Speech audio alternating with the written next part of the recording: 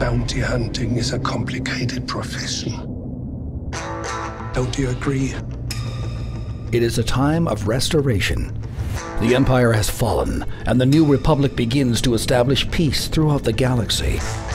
But in the far reaches of the Outer Rim, where lawlessness and corruption still exist, a lone gunfighter emerges. Join Siber Wren and Dee Vizsla as they track the adventures of the Mandalorian. This is the Mandalore Podcast.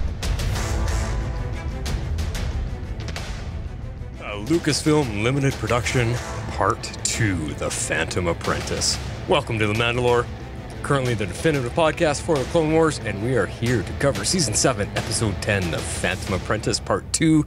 As I already said in the final four episodes, and let's just say it right now this is playing out like a four part movie series, and we've waited three years for each part with bated breath and intense emotional reactions. I am Siber Wren.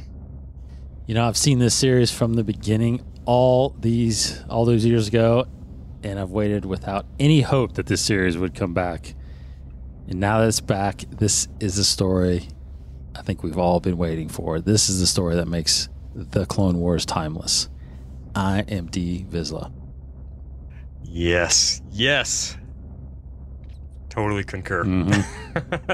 it, I am I am so excited to get to talking about this, but at the same time, I'm almost my emotions and my uh, just the the excitement and, and everything and intensity that's going on. Uh, that's why I worded it like that. I feel like I have been waiting for this second part. It's like it was like waiting for Empire Strikes Back to come out when you heard they were doing a sequel to Star Wars Right. and you're waiting and you're waiting and you want to find out. And then when that ended, after everything that happened, and you're like, no, we got to wait for Return of the Jedi now, and you had to wait three years for that. Yeah. Can you that's, imagine? That's right. Yeah. Now it's now it's seven days. Well, at least it's seven days and not three years. Ah, So- it's aging me like three years, though. All right, well, let's get into it. We have got a lot to talk about tonight, and not much news, just a couple things. Here we go. All right, start us off.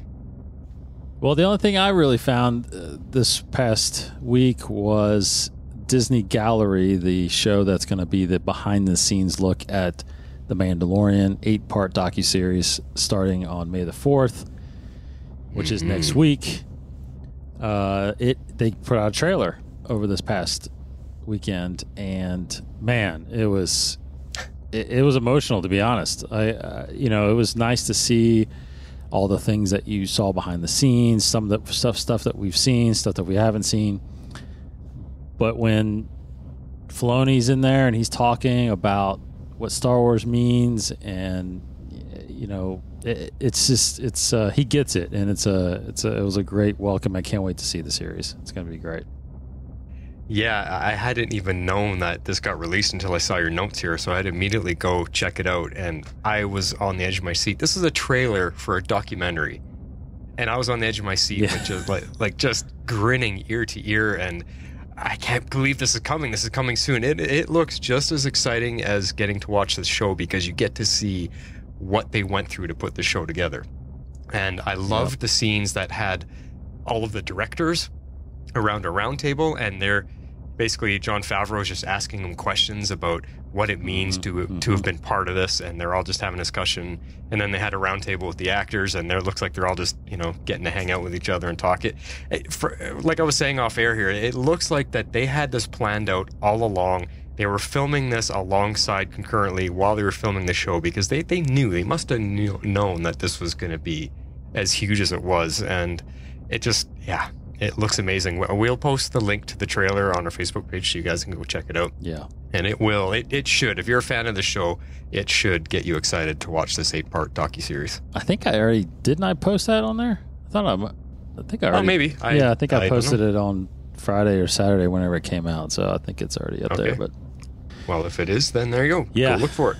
yeah, it's. Uh, I think you're right. I think I think this series, this Disney Gallery, is not just Mandalorian specific. I think it's uh, a series that maybe Disney Plus has been thinking about for a while. So we're probably going to see a lot of behind the scenes, I guess, on some of their shows. But very smart to put this out first, since Clone Wars is coming to the end, and you need to extend the Star Wars love on Disney Plus until you know we get Mandalorian back. Yeah. Yeah, and and keep those subscribers paying for Disney Plus every month.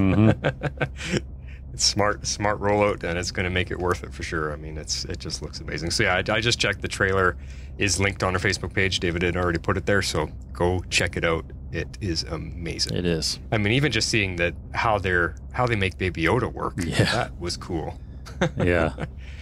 yeah, it's it's crazy. He's a puppet sometimes. Some of those scenes. Which is what I was about to say. I, I know some people might not want that magic ruined for them. That like you know you think he actually is there and alive and breathing, and even even the behind the scenes stuff, the puppet, I it looks like they're just interacting with a baby. Mhm. I- it's amazing. So It is.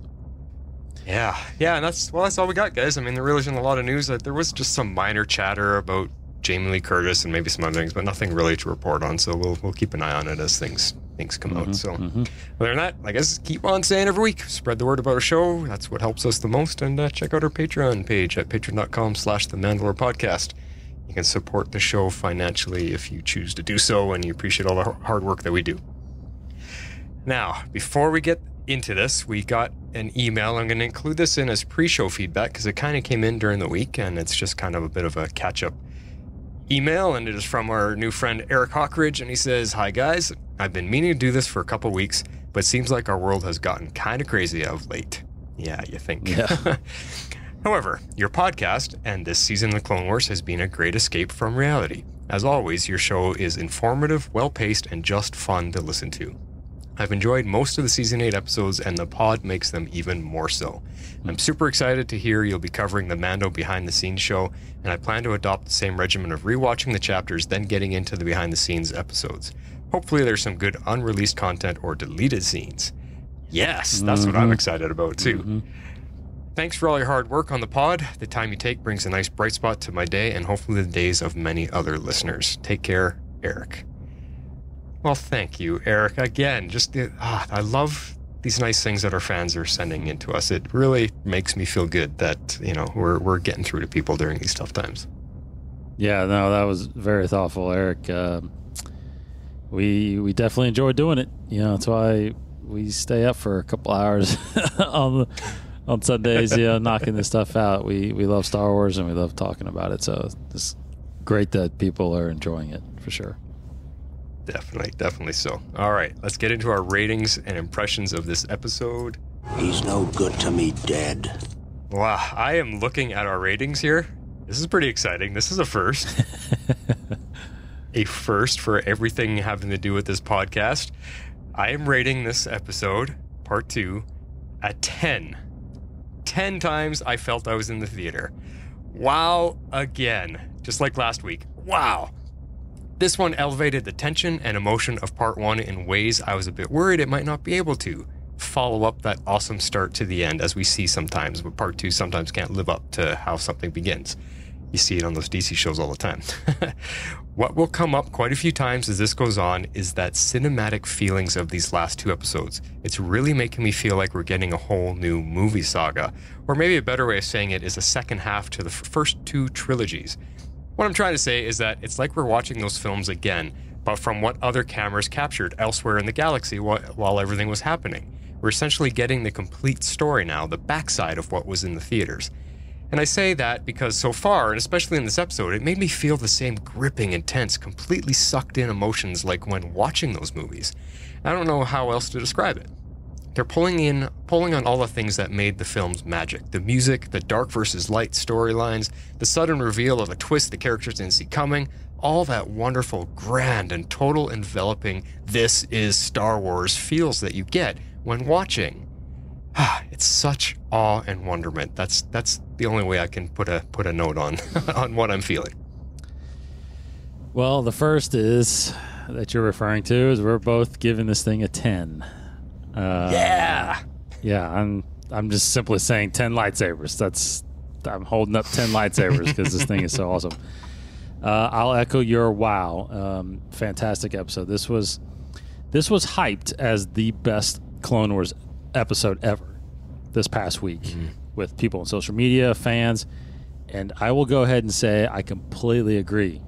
And I'm even going to take it a step further. This is probably one of the best moments in Star Wars history. Period. Wow. Yeah.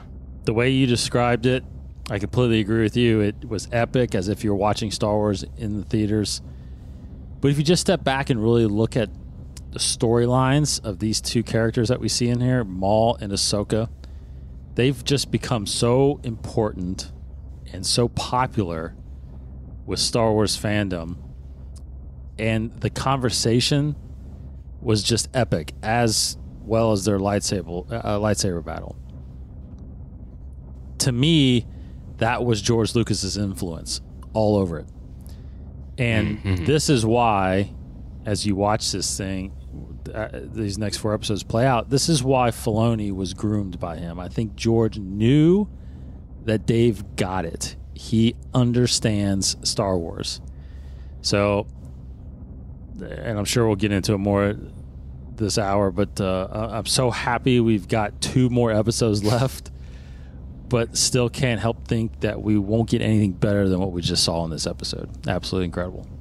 Oh man, yeah, it keeps upping the ante. And you know what? You what I started to think when you said George Lucas groomed Dave Filoni. This is like Master and the Apprentice. Absolutely. Talk about relating to what we saw in this episode. You know, with what Maul and we're going to get into it, but with what Maul was saying about how Anakin was groomed, and oh, yeah, That's very Yeah. true. That's it. He he George Lucas is how, how would you just you, you can't really say he's like Darth Sidious, Emperor Palpatine. Maybe he's the, the maybe he's the good version, the light version of that. Yeah, he's uh, he's Obi Wan and maybe uh, Anakin, right? Just Filoni Yeah. hasn't. F- maybe he won't fall to the dark side, you know. well, it's unprecedented. That is two 10 out of 10 scores for a episode. We are in total agreement. Yeah, That is awesome. I think it, it's by far our only tens. Uh, Did you give any tens to any Mandalorian episodes? I don't remember. I don't think so. No, Yeah. I think I, we had a couple. I could go back and look at all the notes, but yeah, I don't. I don't think we give a 10. No, I don't think so either. Yeah, Hmm. some awesome ground. Awesome. All right. Well, we got so much to talk about. Yeah. So let's move into our cantina chatter. With 900 years old, you reach look as good you will not. Hmm? Now, I this episode, I know for me, it, it was actually hard to pull out cantina chatter moments because the cantina stuff is just sort of the little bits, the, the bits and pieces that are just fun to talk about because we're fans. Oh, I loved when that happened. Wasn't that cool? Yeah. And then we move on to the next one. This episode was so serious, so full of story and drama. I was having trouble picking out just little bits that we don't have to dive into too much about but I did anyway. And a lot of them I'll be saying, let's talk about this, but save some of it for for the bounty section. So uh, we'll just uh, we'll just get into some of the things that I got here. I do have a good list, but as I stated in the opening, this is definitely a movie broken out into four parts. That's the feeling I'm getting, as it's picking up seconds from where part one ended, and it picks up right in the tension and the emotion immediately. It just it just drops you right into that moment when Ahsoka is holding her lightsabers and just waiting for Maul to make his appearance out of the tunnel there. I'm definitely gonna watch the whole thing, all four episodes, as one complete movie when it's all out. Yeah, I just because of the way it started, where, like you said, you see part two, the Phantom Apprentice, and it literally goes right the next beat second after the part one ends. I, I just, I truly just feel like they or they are going to Uh, either for May the 4th or right after episode 4 comes out and the whole thing's done, I see them putting this together and making it a movie so that when you sit down and watch this thing, there is no black. It, it just goes and flows continuous. continuously. And Yeah. I mean, that's the way it's set up like that because they haven't done a Clone Wars series, any episodes like this. So it it's definitely feels like that. I mean, it's weird that you're naming the parts. You know, it'd be different if you just did part one, part two, part three, part four, and then just put them all together, and it's the Siege of Mandalore. Right. You know, you have these different parts names. So, I mean, so, if if Lucasfilm's not doing it, some fan out there will put it together, and I will watch it. You know, in a, like you Yeah. said, all together in a in a movie. Yeah, exactly. And, and I I even like even though they're they're using the titles like the Phantom Apprentice, doesn't that just ring so beautifully true with everything that Star Wars is, the way the titles of the movies were? Mm-hmm. We had the Phantom Menace, well now we had the Phantom Apprentice. Like it just yeah, it's it's a beautiful thing. It is. So I'm, I'm curious what they will what they will do with with those titles, part one and two, and the names if they do release it. It, it just it has a feeling like they did the entire thing in one shot, and they're like, okay, where are we going to break it up? We need a Yeah. pause moment to break it up for the next episode, in it Yeah, like, like I said, that's what it feels like. It feels like they they made the whole mm-hmm. movie, and then they, then they, they found areas to just cut it to leave you hanging. You know. yeah Yeah, I think the next two episodes are going to be kind of the same way. probably. Now, did you notice in the credits? I'm, I'm jumping all the way to the end of the episode, and then we're done our show here. Mm-hmm, mm-hmm. Ray Park and Laura Mae Kim, who I'm guessing was the body work for Ahsoka, they got credits for their stunt work during the lightsaber duels, which I thought was very cool. That's exactly right. Yeah, th- that's that's why this thing was so highly anticipated as far as the lightsaber battle because this is the first time, one and only time during the Clone Wars series that they motion captured the lightsaber battle. So prior to this, every lightsaber battle you see is just fully animated, and you can tell there's you know movements are pretty quick and probably not realistic in a sense. But man, Right. you can clearly tell this is Ray Park fighting. Uh, and, you know, Lauren May Kim, I guess, I, I don't know her work really, but man, you can just tell again her fluency and movement was still what Ahsoka looks like fighting. Um, so, yeah. Yeah. It, it, it just made it look so much real, so much more realistic than, than just an animated battle. Yeah. Yeah, it was. It, I, what I would love to see is some behind the scenes footage of them training and choreographing that. Wouldn't that be cool? Yes. To, to see that whole sequence play out in with them on their motion capture suits. Hundred percent. hundred percent. Oh. Yes. Hopefully, that would be really cool. Really, really cool. Uh, let's just talk about Maul just for a second here. I've got all tons of stuff about Maul in our bounty section. I just want to say here that he's so cool. He's so calm and collected. hmm It's just the way he appears, like in those in those sequences down in the sewers and the tunnels there. He's just so cool and just God has it. He just has everything, as, and he, he's like figuring it out as he goes, but he doesn't get excited about it. I just love it. I love his presence and the way he's Yeah. the way he's just expressing himself. Very cool. Very good. Yeah. He he. Yeah. I thought a couple times there while he's walking around Ahsoka, I'm just thinking, man, she could she could kind of easily just kill him right there. I mean, That's true. I mean, he's walking around her unarmed. You know, I know she kind of feels a sense of trying to capture him. So, but yeah, he's very confident, but but definitely calm. yeah. Until a little bit later, but uh, I Yes. just he just oozes such control and hmm uh, the, the the voice work is just unparalleled. That's just amazing. Yeah. Wa- Sam Witwer did fantastic. Yep. Yeah, just amazing. All right, let's let's we'll, we'll get back to him now. Obi Wan, which we'll also talk a little bit more about. But I wanted to mention how he's really taking on his A New Hope look in this movie. Like, did you notice that the longer beard and of course the brown cloak with the hood up? He just yeah, he looked like Obi Wan Kenobi. I was like, holy cow, that looks that's like the middle between all of this stuff and what we saw in A New Hope, the, the first Star Wars movie, that this is like the middle gap. This it's like the missing link of what Obi Wan is slowly becoming. And I, I just thought, wow, look at him. That's the Obi Wan I know. That's the one that's easily recognizable. And he's also very reserved. He's very mm-hmm. measured. Mm-hmm. And that's Obi Wan because Obi Wan never gets excited about anything. He's just he's just very reserved. Very much so. Yep. Yeah, he's definitely got that demeanor down uh, going into episode three, and you know the old the old wise master already. So he's definitely, um, yeah, he's definitely showing that in this episode for sure. This could be the last time we see him too. That's yeah, that could be. Hmm. That depends. That depends on how far into the third movie they're gonna Right. they're gonna connect with here. Yeah. Now, my partner Lisa, she had when she was listening to him, she actually thought she goes, "Is that uh, Ewan McGregor? Man, he sounds a lot like him." And I, I, I thought, you know what, he really does. Holy cow, that guy is getting the voice really good right now. Yes. Now he's voiced by James Arnold Taylor, who's voiced him the entire series. And if you don't know James Arnold Taylor, you everybody listening needs to go look him up. He is an incredible voice actor, and you've probably heard him in some form or fashion throughout your days of watching television because he is thousands of voices. It is incredible. Jeez. and he does these uh, he does these traveling you know tours uh, shows too if you get a chance to catch him where he does like a little hour show where he goes through all his career and all the characters it's it's amazing what he's done Yeah.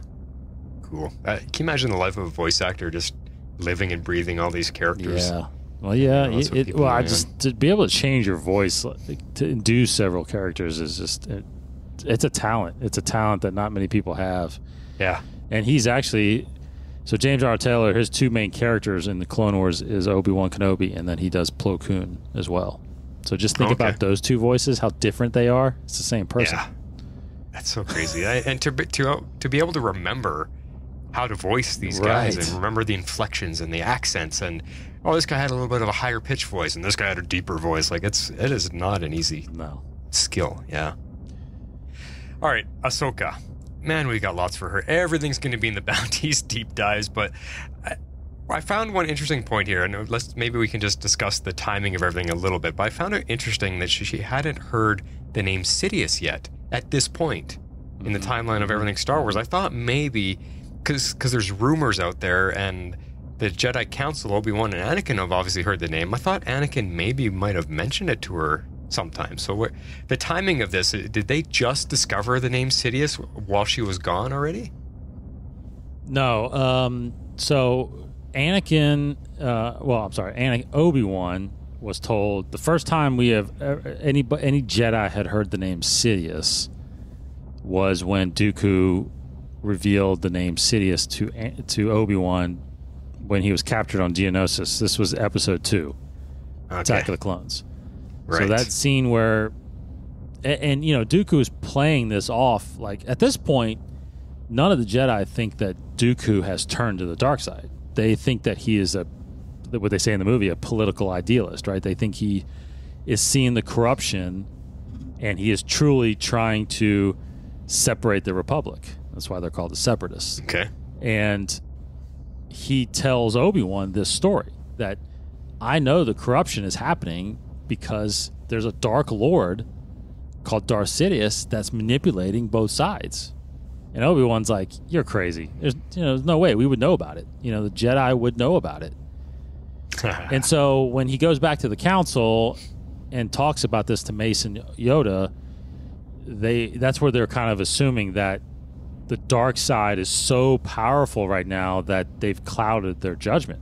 They, like they, the dark side has clouded everything that they can't sense him. So right. th- they haven't they didn't come out and flat out say it, but it seems to me that the council hid the discovery of this dark lord secret. They didn't discuss it with the government. They didn't discuss it with anything. They kind of just wanted to keep investigating, but they just can never find anything out. And they, and honestly, the question came up whether or not Dooku was the Dark Lord after he was revealed Oh, as the Sith That's right.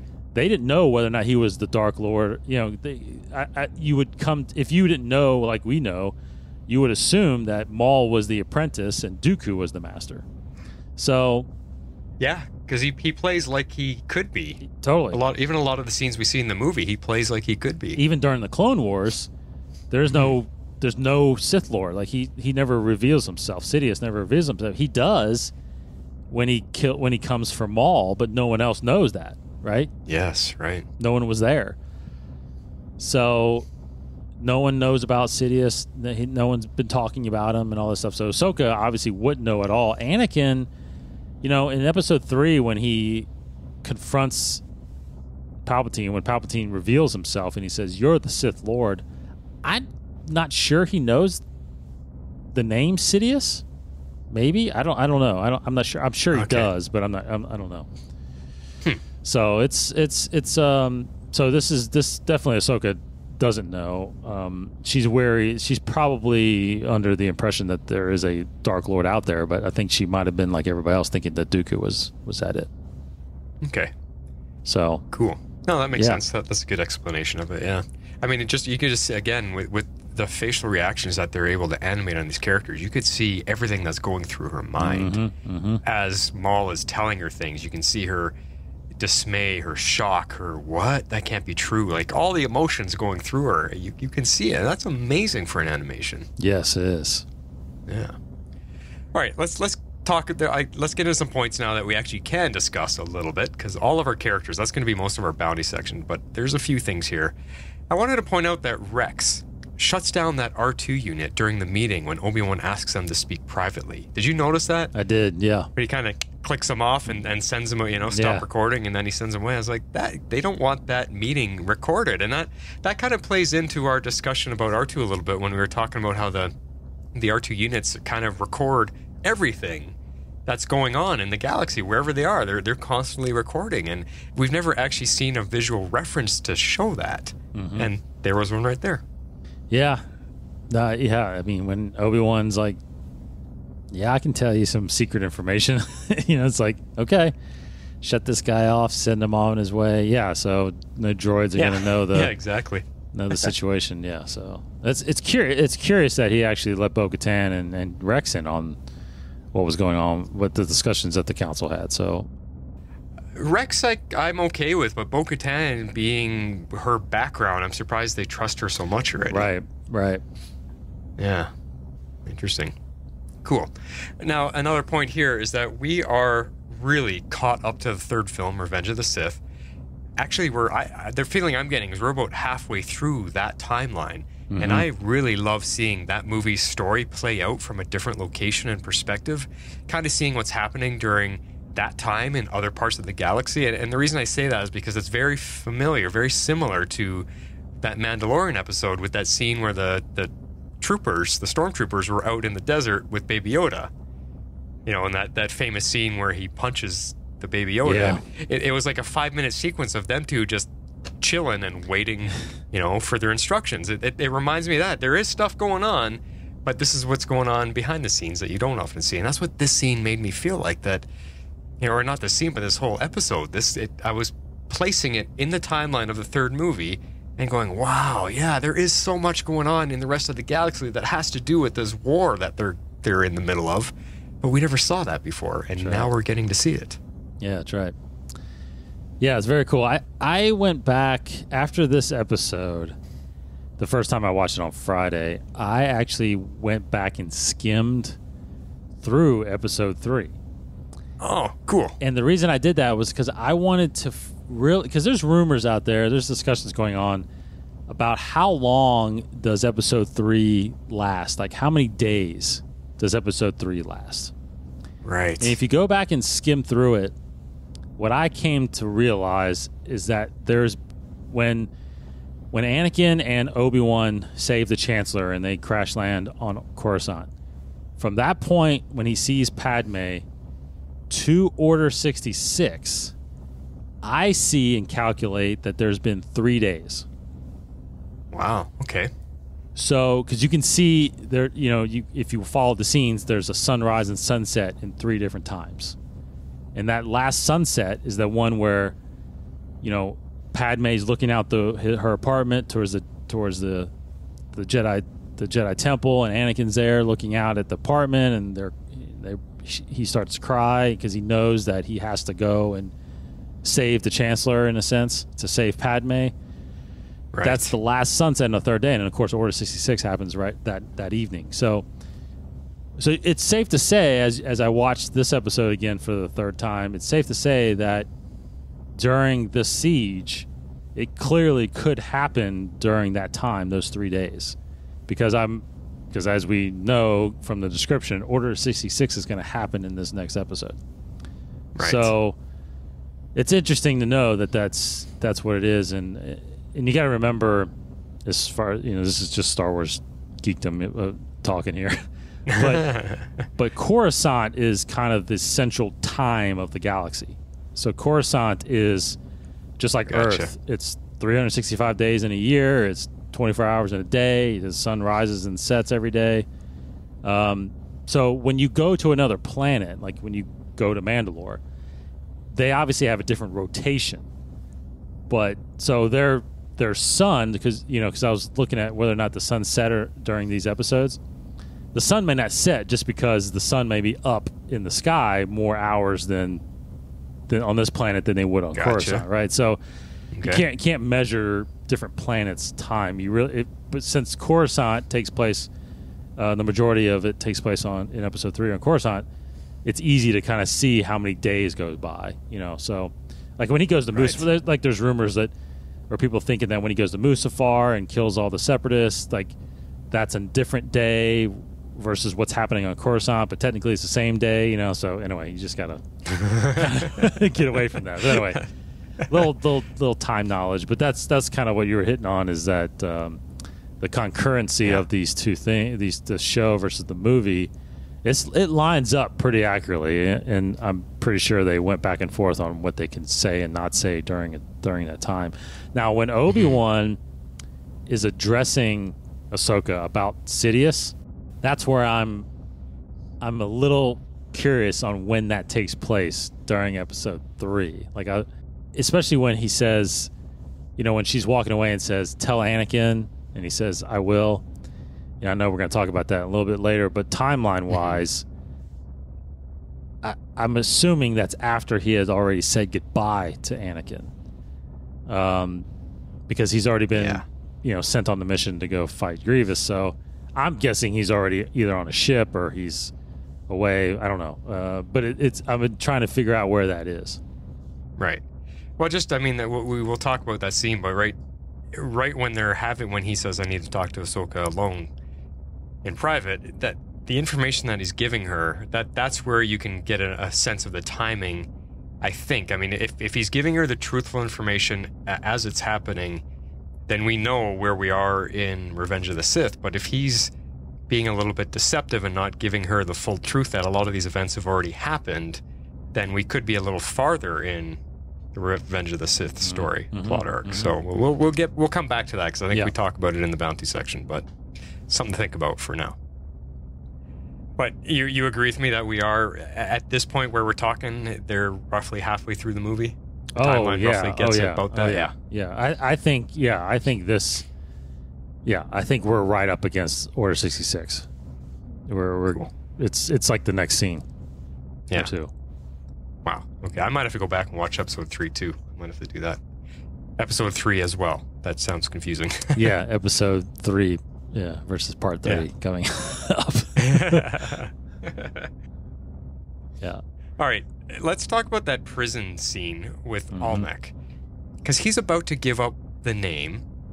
He gets shot twice, which shocked me the first time. Those two laser blasts were really loud because they came in my speakers behind me. Oh, And yeah. I was like, whoa, that, and you know, so it made me jump. And then as he's dying, he whispers Skywalker to Ahsoka. And that scene, that this scene, it moved me because it had the same music as the films. And I'm going to call out, you know, our, our friend Parashand here. She's been so apt to picking out the music, and she's got me listening for it now. Mm-hmm. So it's all mm-hmm. your fault, Para.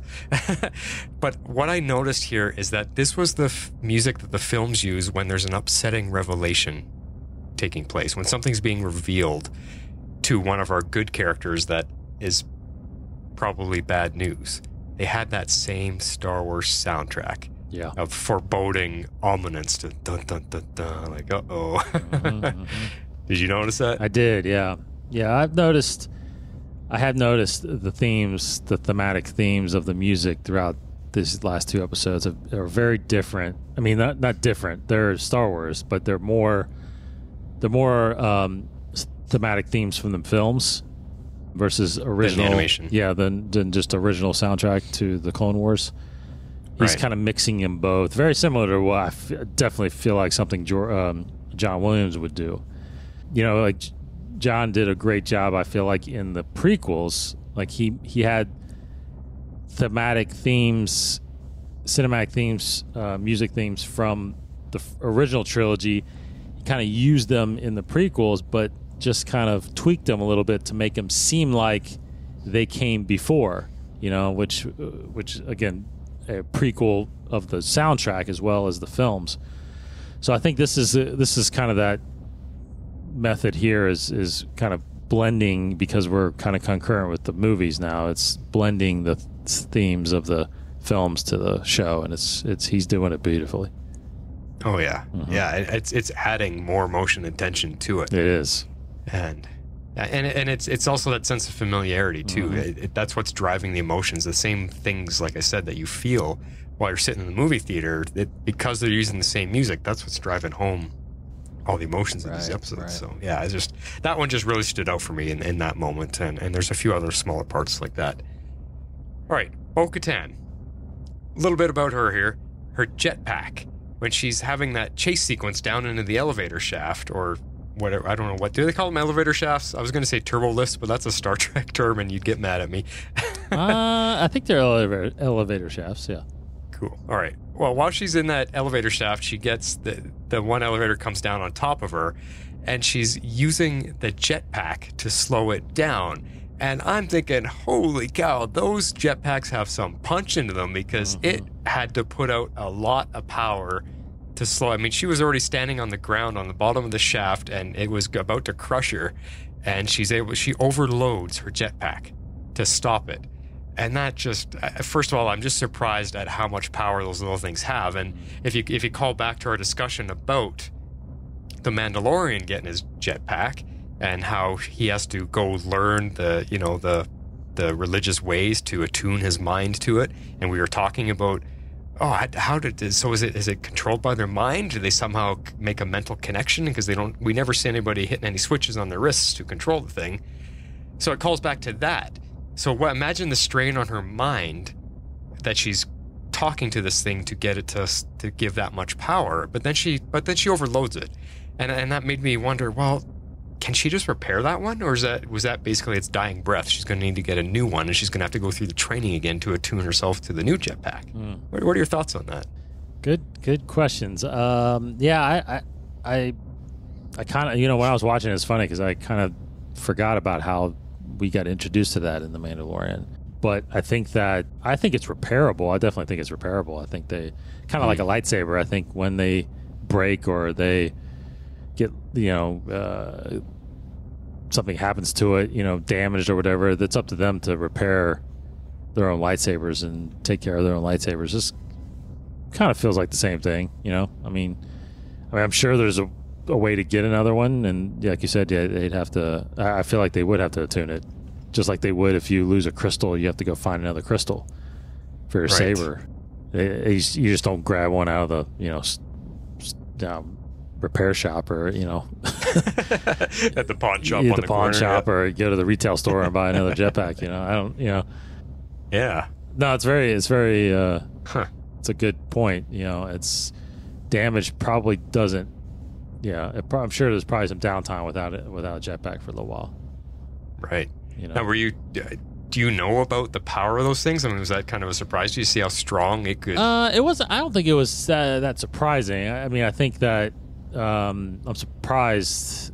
I'm more so surprised that the elevator didn't have like a failsafe when it was starting. Something was happening like that that it wouldn't just lock up and stop. yeah. Oh, yeah. but uh, but you know, it's got to take some firepower to carry bodies up in the air that high. You know, so it's got some power to it, That's true. and they're probably not using all of it. You know, but Hmm. yeah, I would. But even if, even if you were fully using the jetpack, I mean, her strain on her body just trying to hold that thing is uh, that's impressive that she That's true. She was able to Yeah, do You that. don't even think about that. Yeah, the the forces that are in play there, mm-hmm, mm-hmm. and we're not talking about the force. no not at all No, so just imagine that the power that we saw that thing push out. Imagine if she was flying. Like, how fast would she go under that much power, that much thrust, if she was just out in the open air? Yeah I, yeah those things seem like they can be- go pretty fast yeah Yeah, I'd be curious to see that. That would be cool. Now, sticking with Bo here, when she charges in at Maul in the throne room there, I mean, first of all, I love that scene. They're just walking in having a conversation. They don't even realize, and there he is sitting, being all cool and cocky in the throne room there on the on the chair. But she goes in there and she charges at him, firing shots from her from her pistol, and he's deflecting them away using the force. And you can see the bullets actually curving, Yeah. or the laser fire actually curving. I, such a cool scene, and I tell you, man, that that felt like one of my most favorite scenes ever in Cloud City when Lando invites Han Solo and Leia to dinner, and he's tricking them because he's already, you know, Vader and the troops already got there, and the doors open to that big buff, that big table, and it's Darth Vader at the other end, and Han pulls his gun, shoots at him. Vader grabs the gun. I mean, that that whole scene is one of my most favorite scenes in the entire movie universe. I, I, there's something about that, just the shock of that first reveal, and this scene made me feel like that. It mm-hmm. it had that same feeling, that same whoa moment, and you can just imagine it's someone with the Force going up against someone who doesn't have it, and and the it's it's an unfair battle right off the bat. It is unfair. Yeah, one on one like that, it's it's surprising that any Mandalorian could actually stand up to a Force user. Um, we've seen it a little bit, you know. Um, Mhm. I mean, Jango in Episode Two, you know, went went right at it to with Mace, and if it wasn't for that that uh, animal, the the um, I think it's a I think it's a reek, but if it wasn't for that, I think Jango. I mean, you saw him hold his own against Obi Wan on Kamino. Yeah. You know, so yeah, even though they have the Force, it's uh, you know it's it's amazing to think that they actually can go toe to toe. But when they use the Force like this, when you can't even hit them with bullets uh, or laser blasts, it's um, it's amazing the power that they have when they really use it. You know, yeah, and I mean he's just flicking his wrist. Ah, Yeah. what are you? What are you like? I You're know. nothing to me. Yeah, just it was just a cool scene. I, I just I love that one, the connection, the feeling gave me. So good stuff there. Now Yeah. with moving on with uh, this point here, two of and we've we've been talking about the themes, and this is Star Wars. That feeling, that theme, throughout this episode, there's two moments that I want to touch on here. Now, number one, while there's a tense one-on-one lightsaber duel happening, there's an epic full-scale battle going on outside. We have seen that in almost every single Star Wars movie, and I just love that that the Clone Wars employed that here. It, it is one of those things that made this feel like a cinematic event. you're right.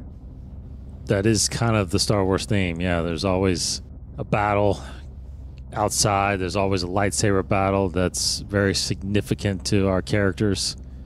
And to be honest, that's kind of George's. That was always George's theme, you know, like that. Because if you think about his movies, there's always multiple battles going on, and you know we Yeah. did get that a little bit. We did get that a little bit in the sequel trilogy, but not as much. You know, not, not definitely not as much. And No, no. yeah, and so this this felt like episode one for sure. You know, when you got the battle with the Gungans and the droids, and you got the space battle with young Anakin going against the droid controlled ship, and then of course you got the lightsaber battle with uh, Qui Gon and Obi Wan taking on Maul. Um, very, very thematic. And- and- Yeah, or or the ones where Luke is facing Emperor Palpatine. Yep. And there's the huge, like a couple times, there's a huge space battle going on, and he has to face Darth Vader one on one. That's right. You know, and then Palpatine's trying to turn him, trying to get him angry, and that, that's yeah, it's this is very much what we saw so much of in this episode. Now, part two, another Star Wars theme is there's always a dark side power trying to bring in an apprentice from the light side with manipulation and almost truths. And we saw that here with Darth Maul. We'll, we'll talk a little more in depth about, but we saw it with Darth Maul as he's trying to manipulate Ahsoka to join him. And again, it's a theme that we see happening a lot. We saw that we saw Darth Vader try to do it to Luke. We saw the Emperor try to do it to Luke. We saw the Emperor doing it to Anakin. There's always that pull. Someone is tr- from the dark side is trying to bring over someone from the light, and I just I found that a very strong theme this episode as well. Yeah, and that's that's the whole point of the Sith, trying to find that next apprentice to overthrow the master. So that's, that's still holding true, even though Maul is not a Sith in a sense, but he still kind of is. You know, he's definitely He's a Dark Lord definitely anyway. yes, he's still trying to do that. I saw, actually saw a tweet today. Uh, someone yeah, someone had put a picture together with three slides on it, and one was top one was Maul reaching his hand out. The second one was Vader and, and Empire reaching his hand Oh. out, and then um, Ben or Kylo in Episode Eight reaching out to Rey. So See, it's definitely a theme. there you go. Yep, that just highlights exactly what I just said. Yep. Actually, if, if you can find that picture, we'll post it on our page. That'll be a good one. Yeah, I gotta find that. So it's just that the battles in this episode were so, like, so huge in scale, just like we see in the movies. And one of the ones that I wanted to highlight was the, the scene along, it looked like a bridge of some kind, but we saw a lot of the Mandalorians and the Mandalorians using the rockets on their jetpacks and using them to good use, like putting everything to good use. We don't often see that happening, and we always wondered, how does that thing work ever since Boba Fett? Why does he carry one missile on his back? You know, Yeah. we've seen them firing them like crazy, taking out, you know, gr- groups of troopers, taking, firing them in the sky, taking out ships, whatever. I, I just thought, wow, this is what we have been wanting to see all along. Use of those jetpacks, use of the missiles on there, and but that whole battle, I mean, it kept going back and forth. You saw you saw the Mandalorians taking the taking charge and, and pushing back, and then when the when uh, Bo-Katan shows up with her Night Watch crew, or the or the the owls, I guess you could call them. Yeah. They land and they push back, and now they're taking over. It just, oh, it was epic. It was just don't breathe, don't blink, just sit and watch. I mean, I totally agree with you. I think, I think we, yeah, we got shorted on Boba Fett. I think just because of technology. You know, it would have been nice to see him Yeah, do some of those things. We saw Jango a little bit, you know, in episode two, do those things, fly around, shoot his rocket. a little bit. Yeah. Yeah, but yeah, no, we're getting. I think we're gonna, you know, we're gonna get more Mandalorians too. I feel like in season two, or you know, as the show goes on in the Mandalorian, to see some some of this kind of stuff, live action stuff again. I think so because they have the technology, they got the budget now, and they yeah, we can start seeing the stuff come to life. But eh, that's what's fun about animation is they can do the things that a real life budget just can't put together. So Right. that's what's fun about animation. Right. Cool. All right, now there's something here. I'm glad you put this note in because I, I totally forgot to bring it up. But it's something about Maul talking to the leaders of the Shadow Collective. No, you wanted to talk about that.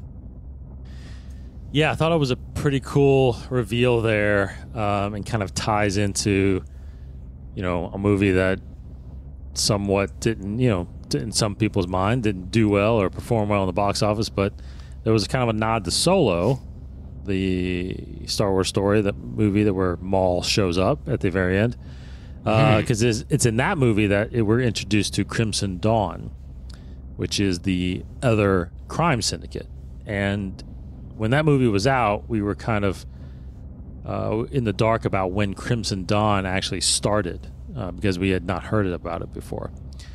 So in this shot here, uh, Maul sends, you know, the the Mandalorians are talking, and they they say that Maul has sent the leaders of the Shadow Collective into hiding Yeah. and we we see the holograms of three characters there. One is uh, Ziton Mo uh, Ziton Moj, I think his last name is, who is the leader of Black Sun. And then you have Marg Krim there, leader of the Pikes. And then you have a humanoid character there, um, and that is actually Dryden Voss, who is in the movie Solo, played by Paul Bettany and he is Yes. the leader of Crimson Dawn. Um, I say leader. Uh, he is probably at this point he's the leader heading up Crimson Dawn, and then, of course, as we know in Solo, at that point, the there's no Shadow Collective. It, there's just Crimson Dawn is one of the crime syndicates, and Maul is basically running Crimson Dawn. So Right. I don't. We don't actually. We don't think the collective is is at that point. I guess we don't really know. But that's Yeah. a really cool nod to introduce Dryden Voss there. Yeah, and it actually looked like him. Like he's very recognizable when you see him. He looked like Paul Bettany's character for sure. Yes. Yeah. So I saw that and was like, yeah, that's awesome that they put that in there. yeah, just a moment, but it was kind of cool uh, because it does connect. It connects a lot of things and a lot of the discussion we've had about what happens to why haven't we seen a lot of these characters and storylines in the movies. Well, this is a good way to write that in. Mm-hmm. If Maul is telling them to go into hiding because of what's coming, because the Empire's coming, because you know Sidious is going to be changing the way the galaxy is operating, it makes sense. That's right. Go into hiding. We'll come back at a later time and we'll be stronger than ever. Like it's yeah, it's, it makes sense. It's good. It's very good. Cool, cool stuff. Now, I've got something fun here that I just want to bring up because we talked about it before. I wanted to continue our little self discoveries from last week. About how you're connecting to Obi Wan Kenobi and me more along the lines of Ahsoka and Anakin. And we were making some jokes there about the light and the dark and whatever. So I just wanted I wanted to touch back on that because I was thinking about this today and it made me laugh. If I was following Anakin's path and I did end up going down the dark side, how cool would my name sound if I changed it to Darth Ren? oh yeah. well, technically, you wouldn't keep the name Ren if you That's true. changed. So That is true. I just like to put it together. Uh, Yeah, I don't know. I don't know. That's good though. That's good. Yeah. I just think just something fun. It was fun. Darth Ren. Darth who- Ren, Who's, who's yeah. to say my my uh, path is leading that That's way? right. Might, That's uh, right. You have a choice though. You have a choice. I do have a choice. I've not been presented with it yet, so we'll see. All right, let's get into our favorite scenes. Size matters not. Look at me. Judge me by my size, do you? Hmm? We got a couple again this week. Not as many as last week, but I pulled out two here. And one I just wanted to touch on first was Darth Maul's speech to the Maldalorians in the tunnels.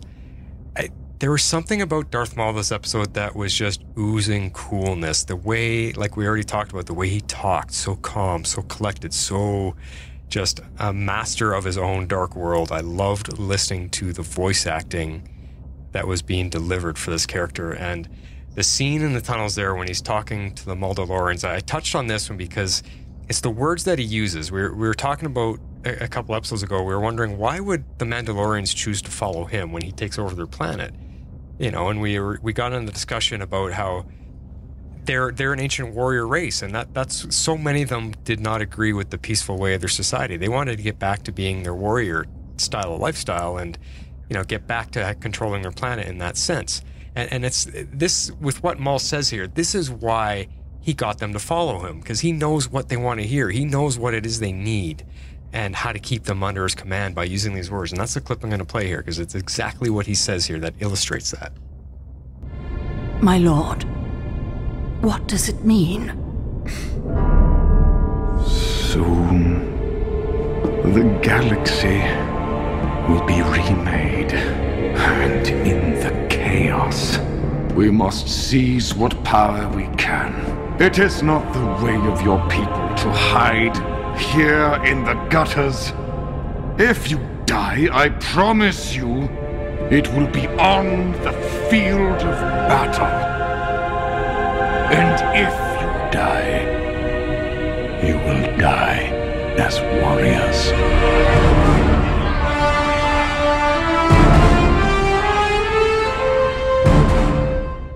Yeah.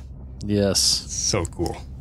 The sound of his voice, man. He just knows how to put the right inflections on the right words. Mm-hmm. Yeah. Awesome.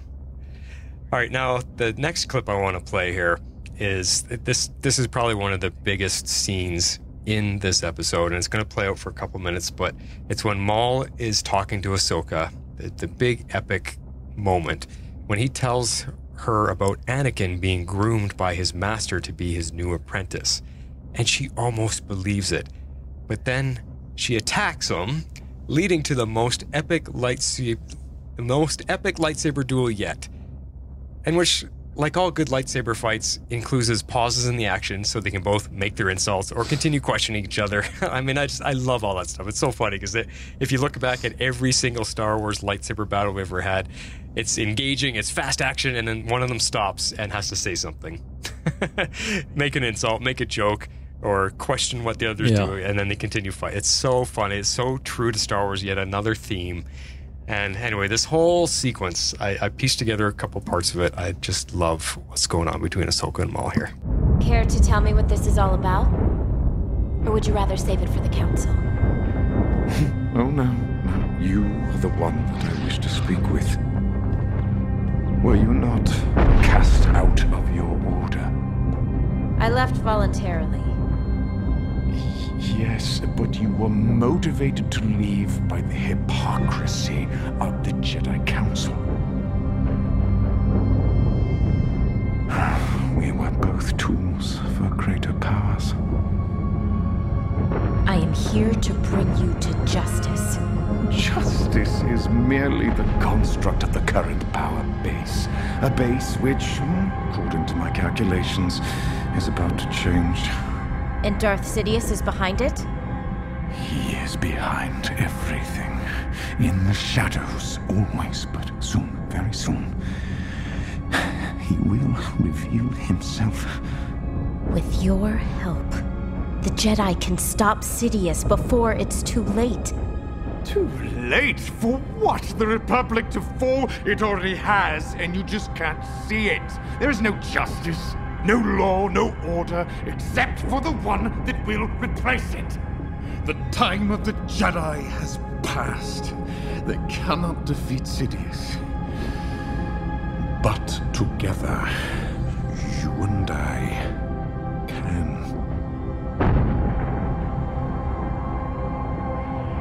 Every choice you have made has led you to this moment.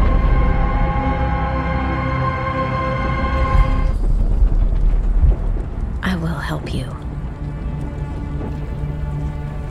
But you must answer one question. You have but to ask. What do you want with Anakin Skywalker? He is the key to everything.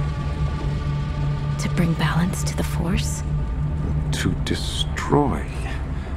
He has long been groomed for his role as my master's new apprentice. You lie. I'm afraid not. In fact, I was so certain of his fate that I orchestrated this war to lure him here with Kenobi.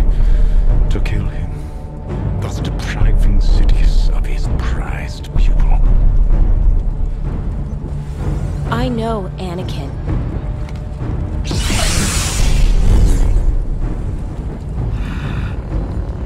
Vision is flawed. I see the Padawan needs one last lesson.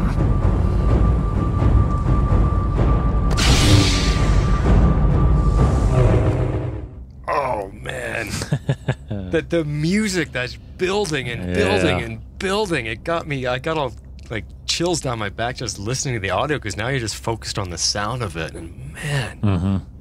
the music, the voices. I mean, just just him trying to win her over eh, with that manipulation. He is almost as good at it as Palpatine. Yeah. and.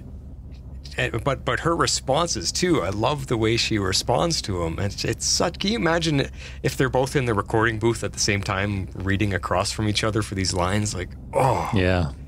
so much fun. So, tell me what you think of those two scenes. Yeah, definitely the the Maul speech. You know, definitely for the, the Mandalorians. Yeah, it's very good. Very. I mean, he he's got them believing in him so much, which is amazing because you know, Mandalorians.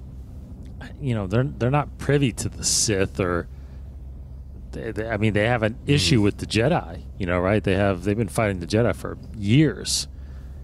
So, you know, he was very Maul. That is, was very convincing in previous seasons of the Clone Wars when he's putting the syndicate together. So, and of course, you know, they believe he is the leader because he has the dark saber as well, right? So, um, but no, it is very much cool that you know that he's addressing to them and get motivating them to to fight. But then that last scene with Ahsoka and Maul, you know, as as I'm listening again, that was like the fifth time I've seen that scene or heard that scene.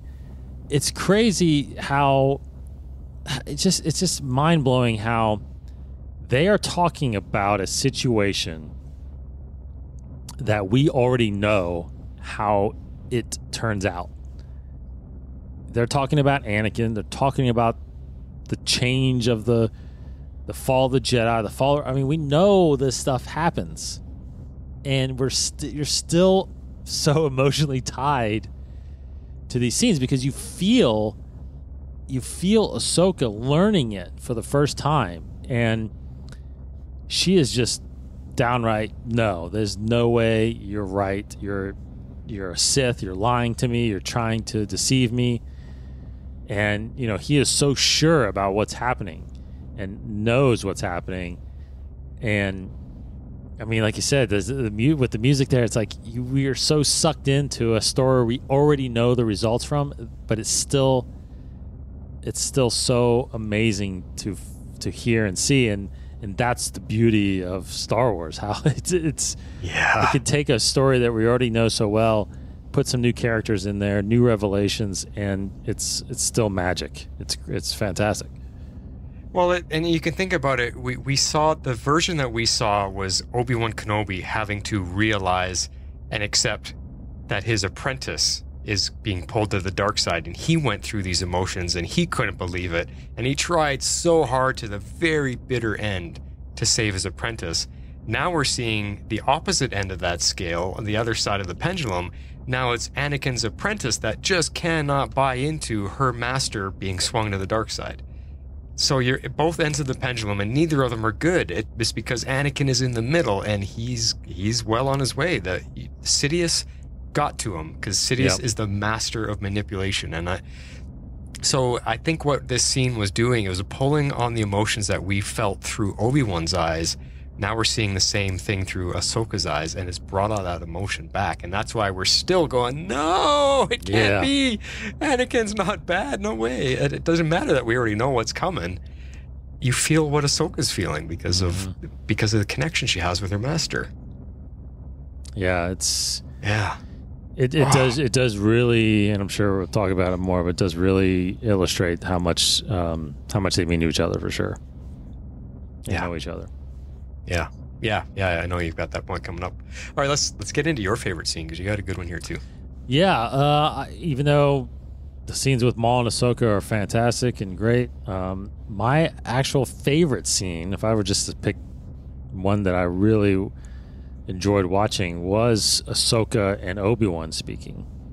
Mm. um, because I think Okay. we learn, like I kind of just said, we learn that Ahsoka knows Anakin maybe as well as Obi Wan, if not more, because she's basically repeating things that you know. Again, we hear later, and Obi Wan knows already, and she's already come to those conclusions right away. So she knew how ex- how ex- exactly Anakin felt uh, about that assignment, and and the thought that she could have probably helped him is really heartbreaking Yeah. if she had spoken to him. Yeah. I'll play the clip and then I'll we'll add more thoughts to that. Here it is. What about Anakin? Maybe he can reinforce us. May I speak to Ahsoka alone for a moment?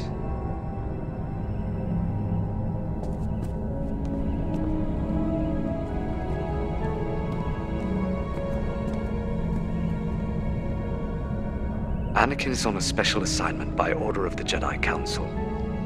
What kind of assignment? He has been instructed to observe the Chancellor and report his findings. Observe. You mean spy? They told him to spy on the Supreme Chancellor? Why? The Senate has allowed the Supreme Chancellor to remain in office long after his term has expired. The Council wants to know what his true intentions are. The Chancellor has been a great friend and mentor to Anakin.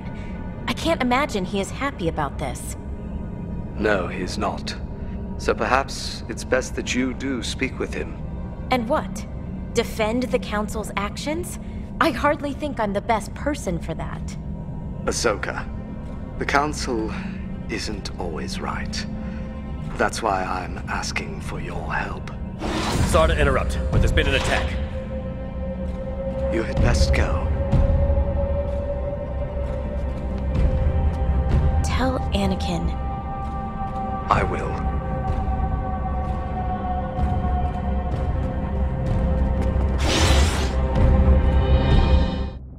Oh. Yep. We're going to talk about that conversation in our bounties for sure, but just it it is heartbreaking listening to Ahsoka have to. She's defending her master. She feels like she knows Anakin better than everyone, anyone, and she's the fact that she has to get defensive for him and, and not, I mean, it's just that that's what's heartbreaking because we know what happens. And both her and Obi Wan just didn't see it coming, which kind of leads to a conversation we could have about the Jedi that they're maybe a little bit naive sometimes. They're unwilling to look beyond or look deep enough into things. Yeah, very much so. I think so. But yeah, we'll talk about it more. But it's it's such um yeah. What what what was she gonna tell him? What was she gonna say to Anakin that could have could have changed everything? Yeah, yeah. Tough Mm. to. All right, well let's let's let's get into it because all of this is going to come up again. Everything we've touched on will come back in our bounty section. Let's get into it. No disintegration. As you wish. All right, let's let's stay on Ahsoka right now, and we'll we'll dial it back just a little bit before we get to some of the heavy stuff. I think she is pretty freaking awesome. She has grown. She is just amazing. You look at how she's able to figure out situations. You look at her deduction of of a situation now. You look at her lightsaber skills. I mean, how else could she not be awesome? She was trained by Anakin and Obi-Wan in some areas. How can she not be awesome? I mean, Anakin's the chosen one. Imagine that mm-hmm. as your master. You know, her lightsaber skills are impressive. I mean, she eventually does beat Maul on, Maul one on one here, and it's and you think, okay, well, she's pretty young to take on someone like Maul early in her, you know, post Jedi career. That was pretty impressive as well too. I know he got the upper hand on her a couple times, but she figures out a way to beat him. Yeah, very much so. And I, very surprising that she was able to beat him without lightsabers. I mean, Yeah, good point. you know, with lightsabers she couldn't do it, but then all of a sudden, yeah, she was able to best him without him, and um, uh, she clearly gets them back. I think she gets the sabers back because I think Are you sure? That's that's a point I have at the end here because Yeah. I only remember seeing her drop them both from that very far height. Where did you see her get them back? Well, there's uh, the only way. The, on- well, no, I'm, I'm assuming she gets them back because there's shots in the trailer that I think Oh, happen after this that she still has the sabers. So Okay, unless they're yeah. Well, I mean they did just drop down into the battle, so maybe Yeah. they landed right right in front of Bo-Katan or something. somebody picked them up, I think. Yeah. Yeah. Right, can can a Jedi call to their sabers from a far distance? Can they sense where they are? I I would think that they can for a certain distance. I mean, I know, you know, it's not like it's funny because it call. I I I think of Thor's hammer. Uh, Yeah. Yeah. I, I I think they have to. I think there is a point where they can probably still sense their crystal, but at some point the distance does take effect. Yeah. I, I feel like it's visual range. If they can see it, then they can pull it to them. But if it's out of visual range, I Oh, don't think they correct. can. Yeah, you're right. Yeah. Yeah. they have to be able to see what they're pulling towards them. Yeah, but Mhm. but I think they can sense at, at a great distance where their crystal is because their crystal is Yeah. a part of them. Yeah. Right. Cool. Yeah, that'd be something to research. I'd be curious about that. Now, it, it, this is a sad point here. I mean, she, as far as we're pretty concerned here, she never gets to see Anakin again. And we talked about this last week, but I wanted to touch on the emotion of it here again because it's like we've said, it's heartbreaking when she turns to Obi Wan and says, "Tell Anakin," and he cuts her off, saying, "I will." I, my feeling is that message never gets through because then it, it, you could look at it two ways. She could she could have been saying, "Oh, tell him to do or say this, whatever, eh, to help him with the situation." But she might. uh, The, the feeling I was getting is that she was going to say something, you know, some type of goodbye or some type of good luck, some something sentimental right there, and that's why Obi Wan cuts her off because he knows what she's feeling, and he knows he's like, "Yeah, I will, I will, I'll tell him." And that that's to me is what is heartbreaking because I don't think he's ever going to get that message. I think that's that that was it. It was like last week when we talked about that's the last time they're going to see each other, and all they said was good luck. I don't think he gets her final message. Yeah, I don't think so either. I, I'm I'm kind of on the feeling that she was basically telling him, you know, because she just says, "Tell Anakin." I kind of think she was just going to say, "Tell him I will, you know, call him or get a hold of him as soon as I can," kind of thing. Okay. I don't know if she had a thought there. At least I don't have a sense that she had a thought exactly what she wanted to say because, you know, I, I she can't. She obviously has no idea about Order 66. So she's I think she still is under the impression that there will be a chance to see him at some point. Yeah, true. So I it kind of felt like it was just a, you know, hey, tell him that I will be in touch as soon as I can, and that's what he's like. I know, because because it makes me feel like, um, again, w- the timeline here of Obi Wan. I think this is. I think this is after he's already said goodbye to Anakin, which is in Episode three, right before he gets on his Star Destroyer and leaves for Utapau to go after General Grievous. So at this point, even Obi Wan hasn't talked to Anakin and will not see Anakin. Will not see Anakin anymore. Next time he sees him, he's Vader. Well, until that until that fateful battle on the, the shores of the lava. That's right. Yeah, yeah. So they both don't have a chance to say. I mean, they're in the same boat, right? They they both haven't didn't get a chance to help Anakin or talk him through what he was Right. going through. So, um, yeah, it's tough because because I do think thinking about this too. I actually do think that I'm kind of under the thought that we will see Ahsoka and Obi Wan actually talk again. You know, like when after the Before after, over. after the twins are born, and they've decided to kind of go into hiding. I I feel like there could be a scene where, you know, he reaches out to Ahsoka and and talks to her and tells her to go into hiding and maybe and that's you know at some point Bail you know Bail Organa knows about Ahsoka because he's the one that kind of recruits her to become a Oh, fulcrum yeah. right for the rebellion so there I think there's I think there could be a conversation there in maybe the last episode maybe Cool. Yeah. Yeah. Yeah, that would be cool. I definitely would like to see Yeah, Obi really. and Ahsoka again. It could be just a nice emotional finish to Mhm. their story together. You know, because he, uh, I mean, he eventually doesn't make it, and we don't know where she ended up. We'll find out possibly in the Mandalorian. Yeah, I tell you, I tell you one thing that's really been a, a topic of discussion as well is, you know, we know from Rebels, Star Wars Rebels, that that was when that's when Ahsoka realizes that Anakin is Darth Vader or Darth Vader is Anakin. We never really find out or know when does Obi Wan find out or realize that the Hmm. guy in the black suit is is Anakin. He's Uh, Anakin, because as far as Obi knows, he cut him up into pieces Yeah, he's dead. left him for Yeah, dead. Yeah. yeah, exactly. Yeah. And I guess he knows. I guess he knows his name is Vader. So maybe if he hears about a a Lord Vader, you know, in a black suit, maybe he could he could probably figure it out. Yeah. But but that's, I'm curious. I'd be curious to know when he finds out. Maybe we might we might discover that in the show. Or in the Obi Wan series, maybe. That's what. Yeah, and that's what I was saying in the in his show. Yeah. Yeah, yeah. Yeah. Okay. Cool. Now, let's let's talk about the the the most serious part of this episode here with Ahsoka when she actually the the moment here she actually chooses to side with Maul to help him defeat Sidious. That shocked me. That surprised me that she she thought about it and she said, "I will help you." That's I mean, I think that's just because he knows what led her to leave the Jedi and like all good Sith, he uses that to manipulate her emotions by saying one of the things he said was every choice you have made has led you to this. And then arguing the point that they both have been made pawns in the greater scheme of their masters. And I think that the, the way he worded and the way he put it together, he, he got through to her because he realizes the position that she's in.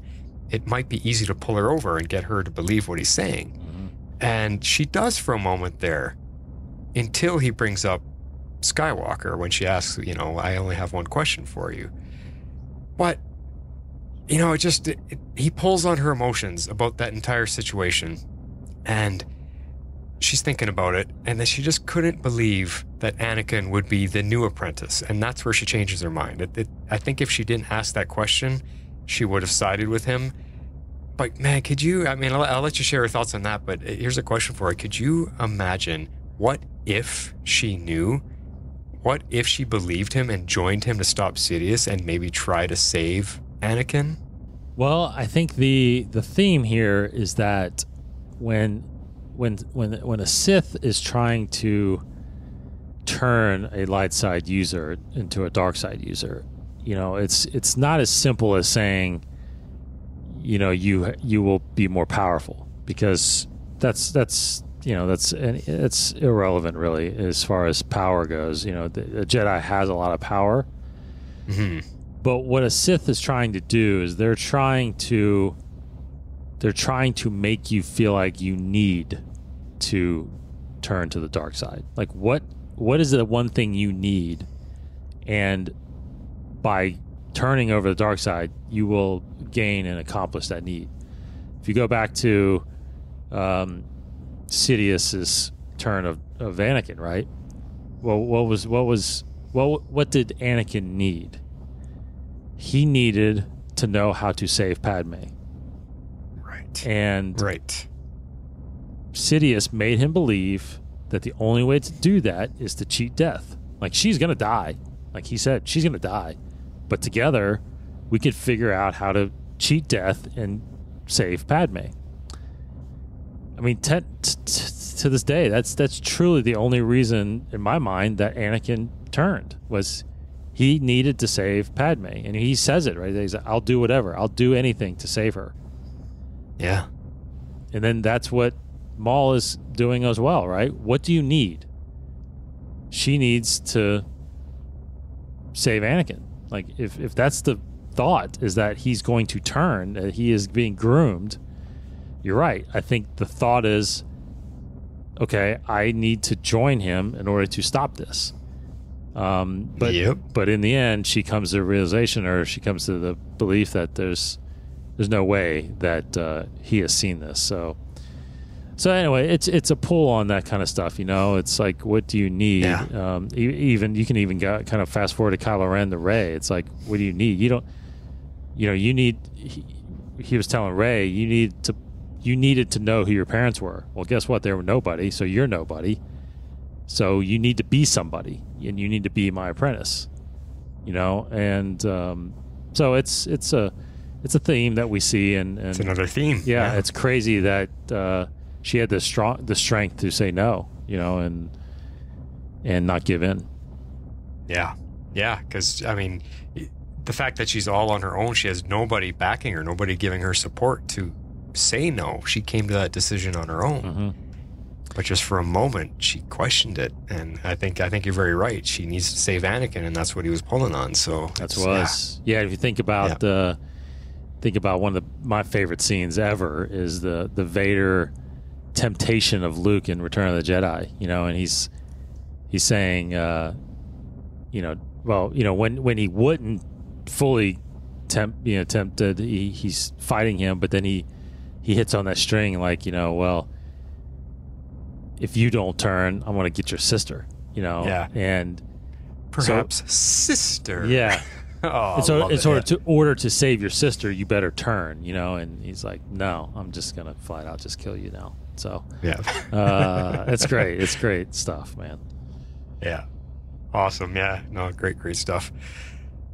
All right, let's move on to a little bit about Rex here. Now, because he was only a small part of this episode, but I wanted to speculate on what we know is coming his survival of Order 66. And we've been talking about it a little bit here and there. And I, I, I can't remember if these points came up, but I just had a couple thoughts this week. If it is chips in their heads, in all of the clones, could him and Ahsoka maybe have just escaped and gone far enough away that he's out of range of the Order 66 signal? And then maybe they can figure out how to disable it? I mean, it, that's one angle. Do, do you think that could be a possibility? How he survives? I, I don't think there's a I don't think there's escaping a range or whatever. I think that I think as long as that chip uh, is in the galaxy, um, it it basically gets somehow it's all it's just signaled all at the same time. I do think that Do we know for sure, without a doubt, it's a chip? They all have a chip? Yes. Yeah, season 6 the there's a there's an arc the first 4 episodes of that arc where um Fives gets he's the one that kind of discovers um one of the I think his name is Tup um he accidentally like his his chip basically malfunctions and he kills a Jedi Okay. and Fives goes and investigates it and discovers that there's a chip and discovers the truth. Oh, you have brought that up before. Yeah. Okay, I just forgot. Yeah, yeah, yeah. So and, and so he tells, you know, Fives tells. I think he either tells Jesse or he tells Rex about the situation and what he's discovered, but he ends up getting caught and ultimately killed. So he couldn't tell anybody, but he knew. I mean, he knew what, what the plan was, and he knew what was going to happen. But they they silenced him, and you find out in those episodes too. So I'm kind of spoiling a little bit, but you, you find out in those episodes that the Kaminoans, the ones that you know cloned, uh, My made favorites, the clone yeah. army, he, they knew about it. They they implanted the chip. So, oh, see that that opens up such a huge huge conversation. is how how soon in the beginning, like her, how early on did Sidious start his plan? Like he knew all along. Okay, these the the you know the rebels are building these clones. I'm gonna get in there first, and I'm gonna outbid them, or I'm gonna pay the com- you know comedians, Comonians. I can't remember how to say that alien name ever. Yeah. Kaminoans. That's such a tough I, uh, word for me. Yeah. My tongue has trouble on that one. I don't know. But he gets in there and he does he just pay them more or does he use the, the power of the dark force to threaten them? Yeah. To insert all these chips? Like there's so much there.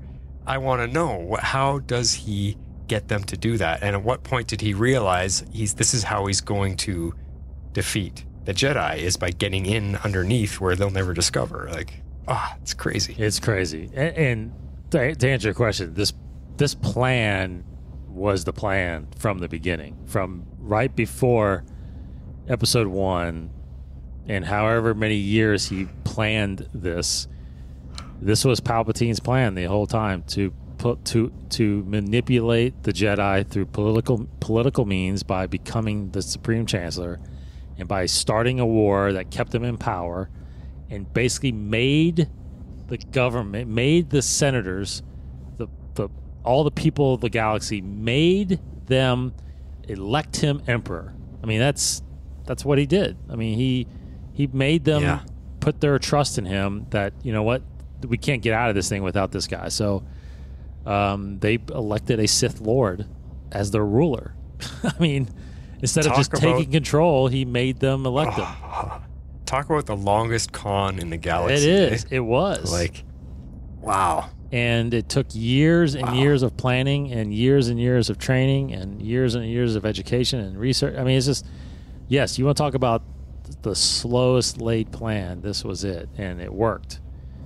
The It only did. thing it didn't do is it didn't wipe out all of the Jedi, or else he would have won. Yeah. Yeah. Yeah.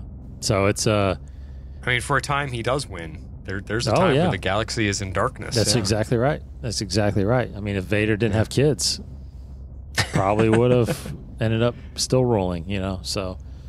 Yeah.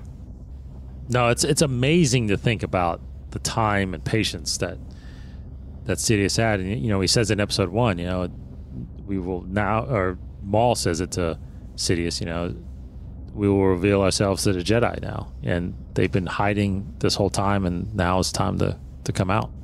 That's right. Yeah, That's right. yeah, so I don't think, um, you know, I think the, the, the, the chip has always been there. The chip started being implanted when episode one, when the clones were, because you remember episode, they were making the clones in episode one, because the 10 years of gap between episode one and episode two, which was the start of the Clone Wars, they had already had thousands and thousands of troops. Yeah. So those chips have been in there for sure from the beginning. And and So that- and you go back to your original thing. Rex has one in there now. I think that I think that he understood what Fives found, and I think he removes. He had. I think he somehow got his removed. Interesting. I hope we see that. I, I mean, we should because we see we have to see how him and Ahsoka survive and where they go to. So Yeah. I hope we see that. Well, I, I'm glad that you you explained all of that because that kind of nullifies my next thought. My next thought is if it wasn't a chip, would it have been brainwashing during their training somehow? Could somehow Sidious have gotten in there and hmm. brainwashed these clones through specific mental training? You know, because and the reason I was questioning is it the chip or is it brainwashing? Because when the order is issued, Order 66, they just seem to follow it like it's an order. They have no choice. They have they they nope, that's the orders. I got to do it. There's no questioning it at all. Yeah. I mean, we, we even see in the movie in episode three, they just switched like mm-hmm. that. Mm-hmm. Turn on all their friends, turn on their masters, on their on their commanding officers, everything. Immediately. Yep. Wow. Yeah, it's like some signal that just goes out, and they all just all of a sudden, all of a sudden, it's like a switch that Jedi are evil, and they must die. So, time to kill them, and that's it. They don't turn on anybody else. They don't. They don't go after the droids anymore. It's just kill kill Jedi. Huh.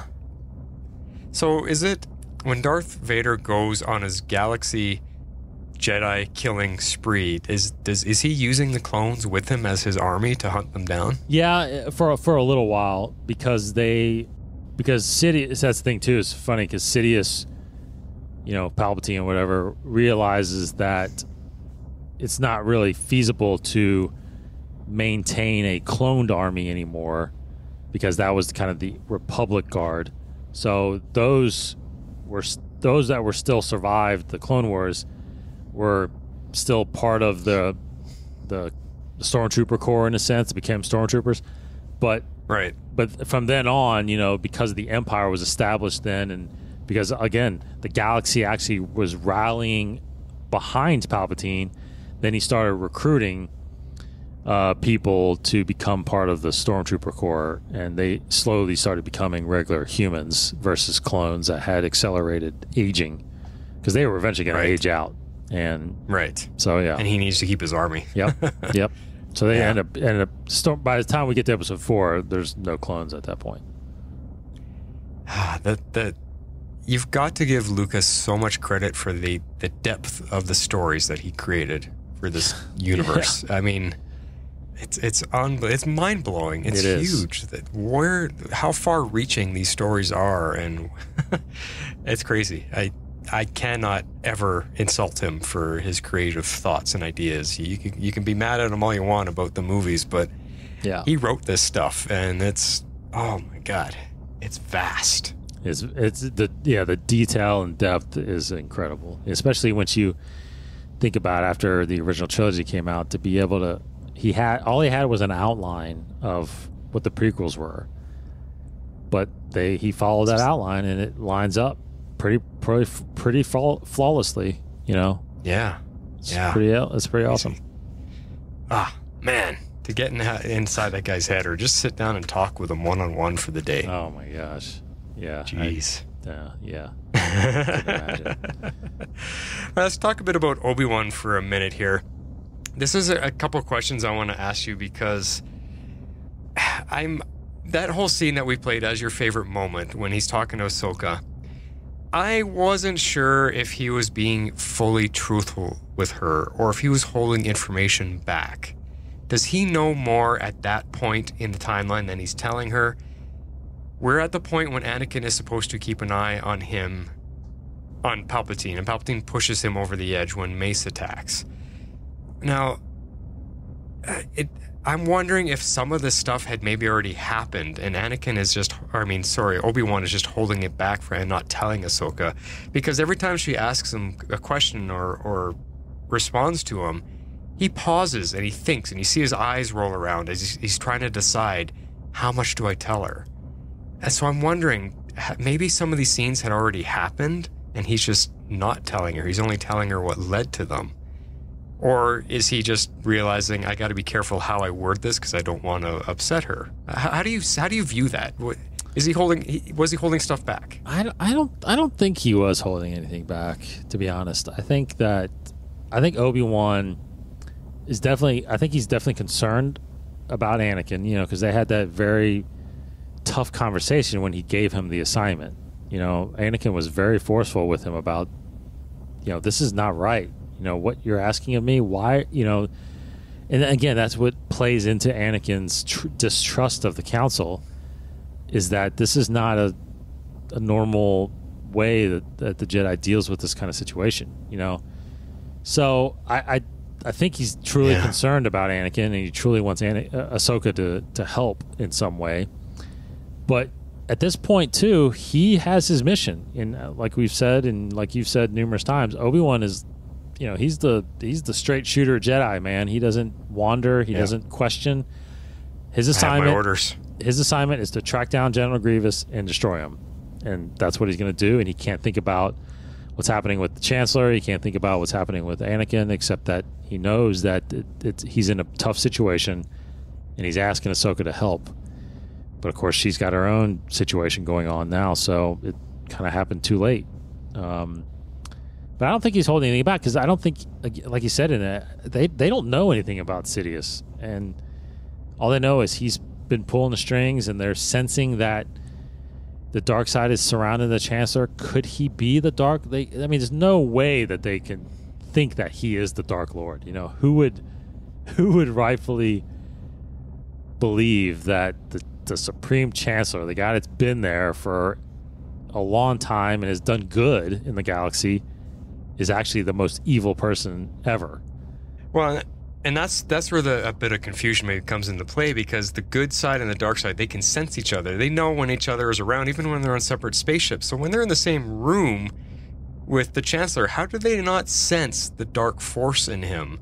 So uh, that just shows you how powerful Palpatine was that he could conceal all of that Exactly right. That's that from the most powerful Jedi, That's from exactly Yoda right. even. That's exactly right. The power that yeah, it's un it's unimaginable how much power Palpatine actually has. Yes. To be able to cloud the galaxy in darkness where no Jedi can sense his presence is uh, man, yeah. You just can't imagine it. It's it's it's in, it's incredibly powerful. I mean, they're in that room together numerous times. Yoda's like trying to. I mean, he even trying to sense things. He's like, I can't see it. I mean, I can't see it. The dark side's clouding everything. yeah. Yeah, he's in the same room with multiple Jedi and he's blocking all of them. Yeah. So it's not that the power, because I think there's been talks during the movies, you know, like like even Mace Windu says it to Yoda. He's like, I, I don't know. Maybe it's time to tell the Senate that the power of us to be able to use the Force has diminished. And I don't know if the power has technically diminished more so that than the the p- power that Emperor Palpatine or Darth Sidious possesses is just that much more powerful. Um, I don't think that they their the power. I think that they've. I think Yoda even talks about it, they've gotten arrogant and relaxed about learning the ways of the Force, which has allowed them to kind of maybe get weaker with it. But um, but Palpatine, man, he just knew. He just knew how to how to do it, and yeah, it's it's one person has done this basically. Right. So I, guess with what you you had said then about Obi Wan, bringing it back to him. So maybe what I was picking up on is that he knows how sensitive this situation is. He cares about Anakin as much as Ahsoka does, and he's just he's concerned and he's worried and he's feeling it himself that he's being pulled away for another mission when he should, when he knows he should stay and help his Padawan. Just like Ahsoka Yeah. is like, I have to help my master. And yet, like you said, Obi Wan's a straight shooter. He follows his orders no matter what. So he's his emotions. He's he's struggling with controlling his emotions while he has to follow orders. So maybe that's when you see him pause with every interaction with her. He's pausing and he's thinking. You see his eyes rolling around. Maybe he's struggling with. He, he wants to meet her in the middle with the emotions she's ex- she's expressing, but he can't, and that's his struggle. Maybe that's what that really is, and it's not so much him hiding information from her. Yeah, that's true. That could that's very that could be very true. Yeah. Hmm. Interesting. Yeah, he's got. Um, yeah, it's it's crazy how good Obi Wan is. You know, he's he's he's got the the thoughts. I mean, he even says it to her. The council. It's good to hear that too when he says the council is not always right. I mean, he yeah, that's a big admit. yeah, it's a very big acknowledgement because that's what Obi Wan or that's what Obi Wan had learned from Qui Gon, right? Qui Gon. I mean, we saw that conversation. You know, just why can't you just do what the council says? And he's like, I, I have to do what I must, Obi Wan. He's like, I, I have to do what I believe is right, and sometimes the council is not always right. And Obi Wan is always about, no, you got to listen to the council. You got to listen to the council. So, even though he does listen to the council, he doesn't always believe they're right and that's a good um, it's a good Discovery with him. Yeah. Yeah. wow. Yeah, See, this is why this episode was so, So powerful. awesome. There's Yeah. so much in it. All right, this is a big section to talk about. We got a lot of Darth Maul in this episode. but The entire episode was pretty much about Darth Maul. Mm-hmm. Let's talk about him a bit. So, right in the beginning, one of the big things with him is that he thought Obi Wan was going to show up. Once word got out that he was alive, that Maul was alive and survived, he thought for sure Obi Wan would show up because Obi Wan is the one that cut him in half. Obi's the one that dealt with him, chased him all through the Phantom Menace, the first movie, and that's what this is all ba- based on. Why Maul thought Obi would show up, and he's certainly he's disappointed, and he, it seems like he's almost hurt because he did it. It's like the the way when he found out that Ahsoka came instead. It's like he felt he didn't feel important enough. I, I'm not important enough to Obi Wan that he would show up, and that there's only one reason that would draw Obi Wan away, and that brings it back to the point you talked about last week that I believe you're totally right about. Is that because that's because Maul knows the plan with the clones? Mm-hmm. And that's the only reason that would keep Obi Wan away. Because, like I said, he looked like he was genuinely insulted and hurt that Obi Wan's not coming to, to, you know, face him again. And, uh, you know, Maul starts losing it because the dark side's all about the emotions and stuff. And you could see him starting to lose it here a little bit, like, like in his anger, when he was talking about how he was supposed to be a big part of that plan. And now he's even more angry and he's becoming vengeful for not being fully aware of the details because he actually, and this part surprised me because he actually says, like, we, you were speculating last week or telling us that Maul knows the, the plan. For sure he must know because Dooku knows, everybody seemed to know. But Maul says here, not even I was made aware of its grand design, but I played my part. So he, he knew about it, but he didn't know all the details. Right. And then he gets tossed aside and left for dead in favor of Dooku. And then following Dooku, Anakin, ultimately, because the entire plan of Palpatine was ultimately to get Anakin in as his apprentice. I know I just fed you a lot, but what are your what are your thoughts on all that? Yeah.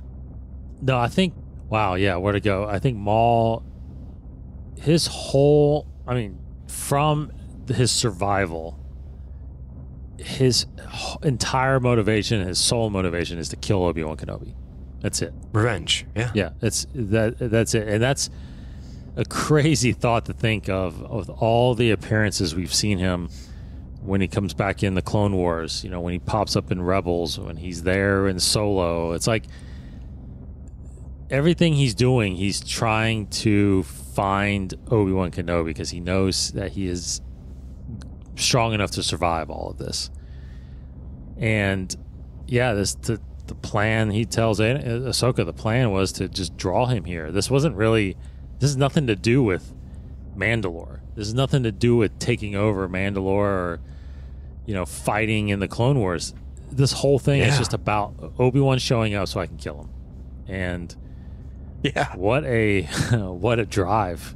Because I mean, Rebels takes place so many years after this, and it's still tearing at him that he doesn't have a chance to kill Obi Wan yet. So Well, and now add to it, he also wants to kill Anakin. He was hoping Mhm. Anakin would show up too because he knows Anakin was his ultimate replacement, and he wants revenge on Sidious as well. That's right. Yeah, I guess. Yeah, he does have that bonus, you know, part of uh, bringing Anakin Yeah. because, uh, or bringing Obi Wan because Anakin will follow, and he can uh, disrupt Sidious's plans by doing that. Of course, yeah. So, you know, I, I, I, you know, he does know the plan. What parts does does he not know? Maybe when it's going to happen, but he definitely feels like it's in motion now. Because I, I guess being captured was part of it. You know, the whole Chancellor is in peril and in distress, and Anakin and Obi Wan are the ones that are going to go save him.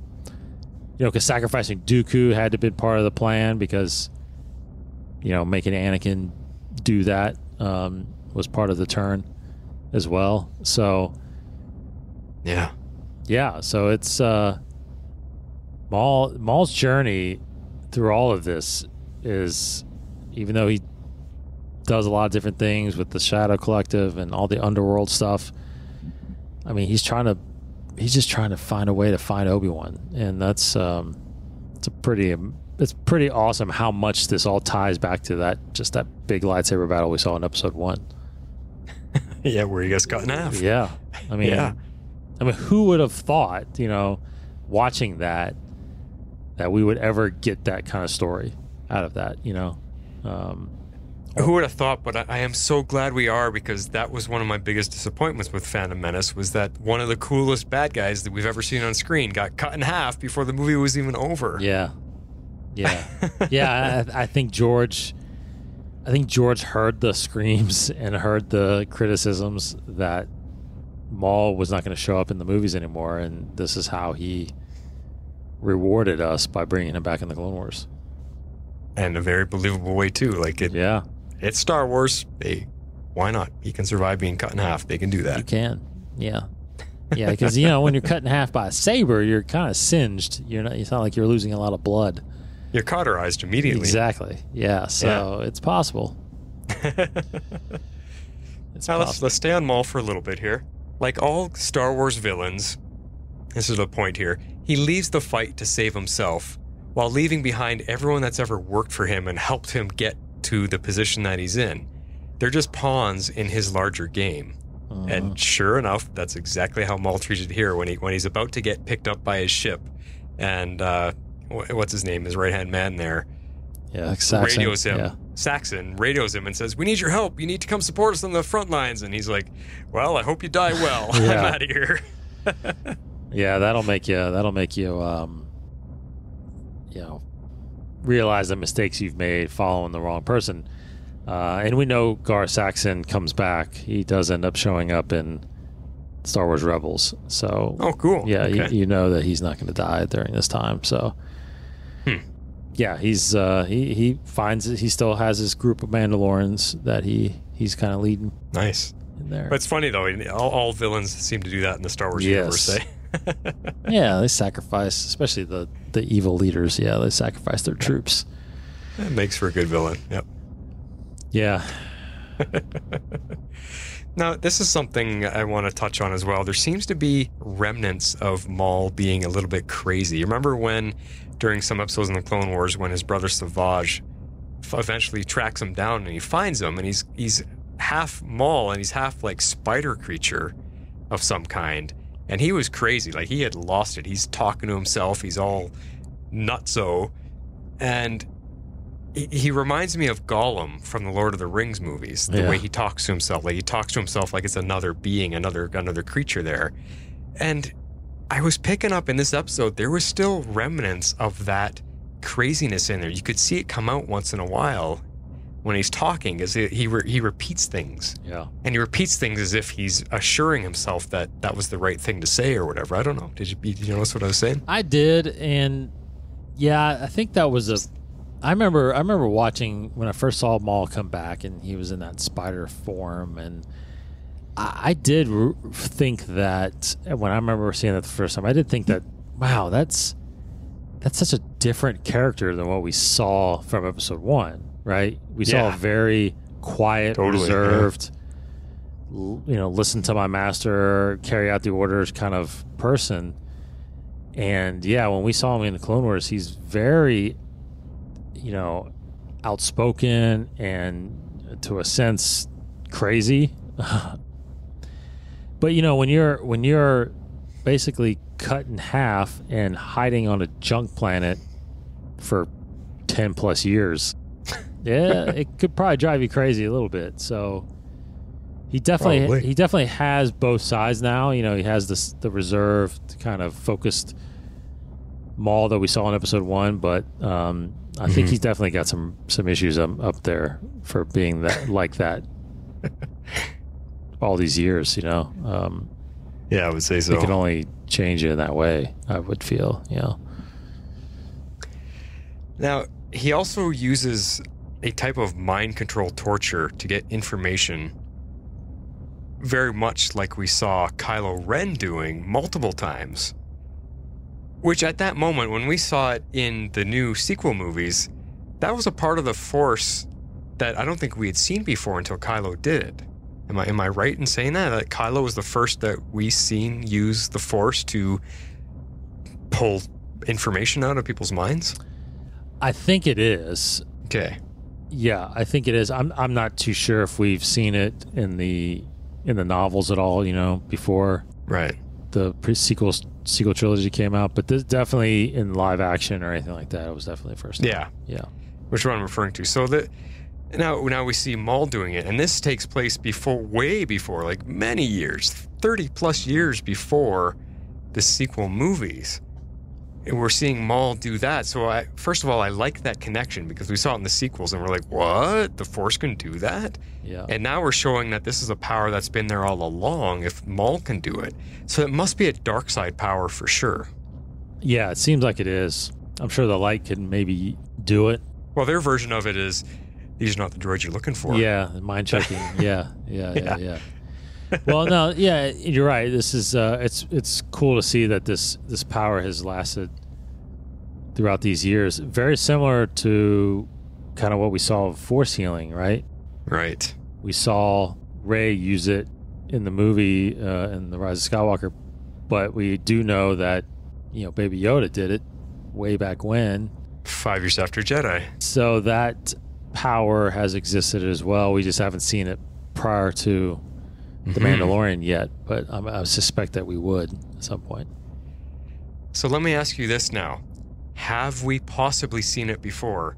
Do you remember that scene in Empire Strikes Back on Cloud City when they take Han Solo away to be interrogated by Vader? And we see him strapped to that machine and he gets lowered down towards that thing and he was hot, hot, hot, hot. But then the, the camera changes and all you hear is him screaming and moaning. And then when he comes back, he's mentally exhausted and he's out of it. We don't really see what happens other than that hot device, but could it be possible that maybe Vader did this mind torture as well to get information? Because it seems from that point forward, Vader had a lot of information that he didn't have before. Could that be that's where he got it from? That's it. Very interesting. Uh, I don't know. I think that I don't think he would have used a contraption like that unless he was kind of torturing him a little bit before he tried to read his mind. I'm not. I, I can't remember. Do I do you remember what he was actually? What kind of information he was actually trying to pull from Han? Oh boy, boy, neither of us should be. Uh, Yeah. we shouldn't be failing on that. He was. Oh, it was the. He was trying to get the plans of the Rebel Alliance, something like that, Okay. and and probably information about Luke because the because he was able to set up the trap for Luke after that because he knew Luke was coming. Yeah, I, I- think the carbonite. Uh, I mean, the carbonite thing we have discovered or found out that, yeah, I guess he knew the the carbonite would work.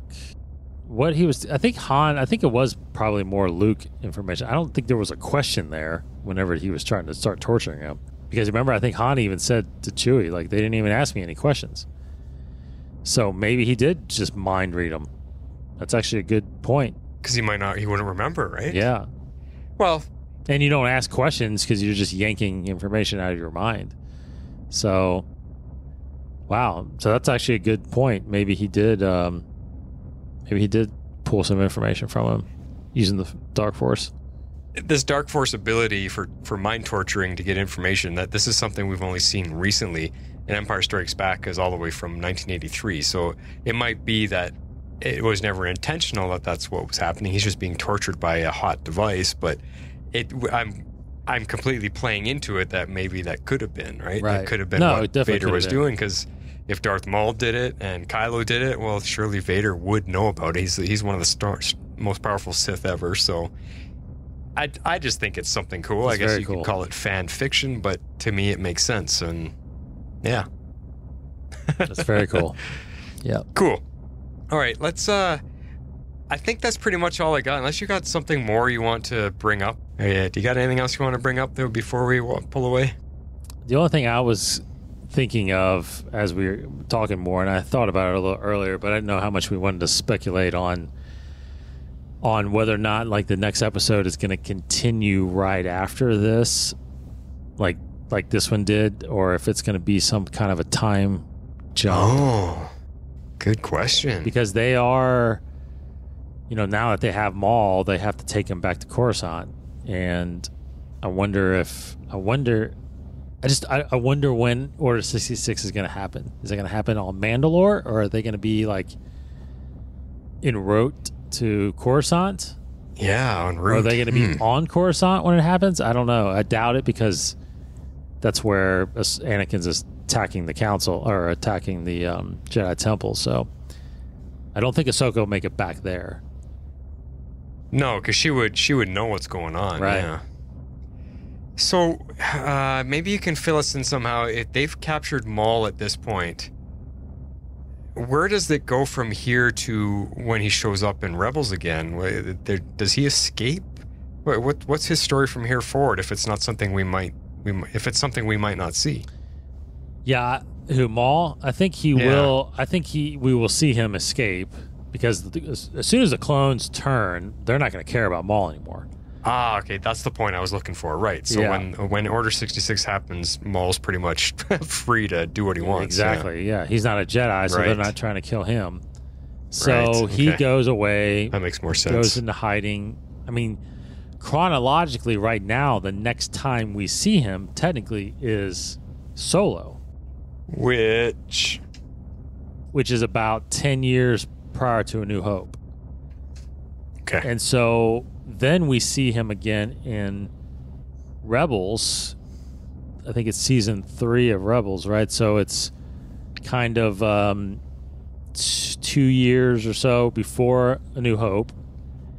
And he gets discovered while the Rebels, uh, Kanan and Ezra and Ahsoka, are trying to find Malachor and somehow Maul has been on Malachor, and he because he's looking for that Sith holocron.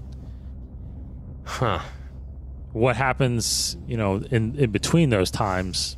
Yeah, we haven't discovered that yet, but I think I have a feeling we're going to get a lot more Maul in the coming years.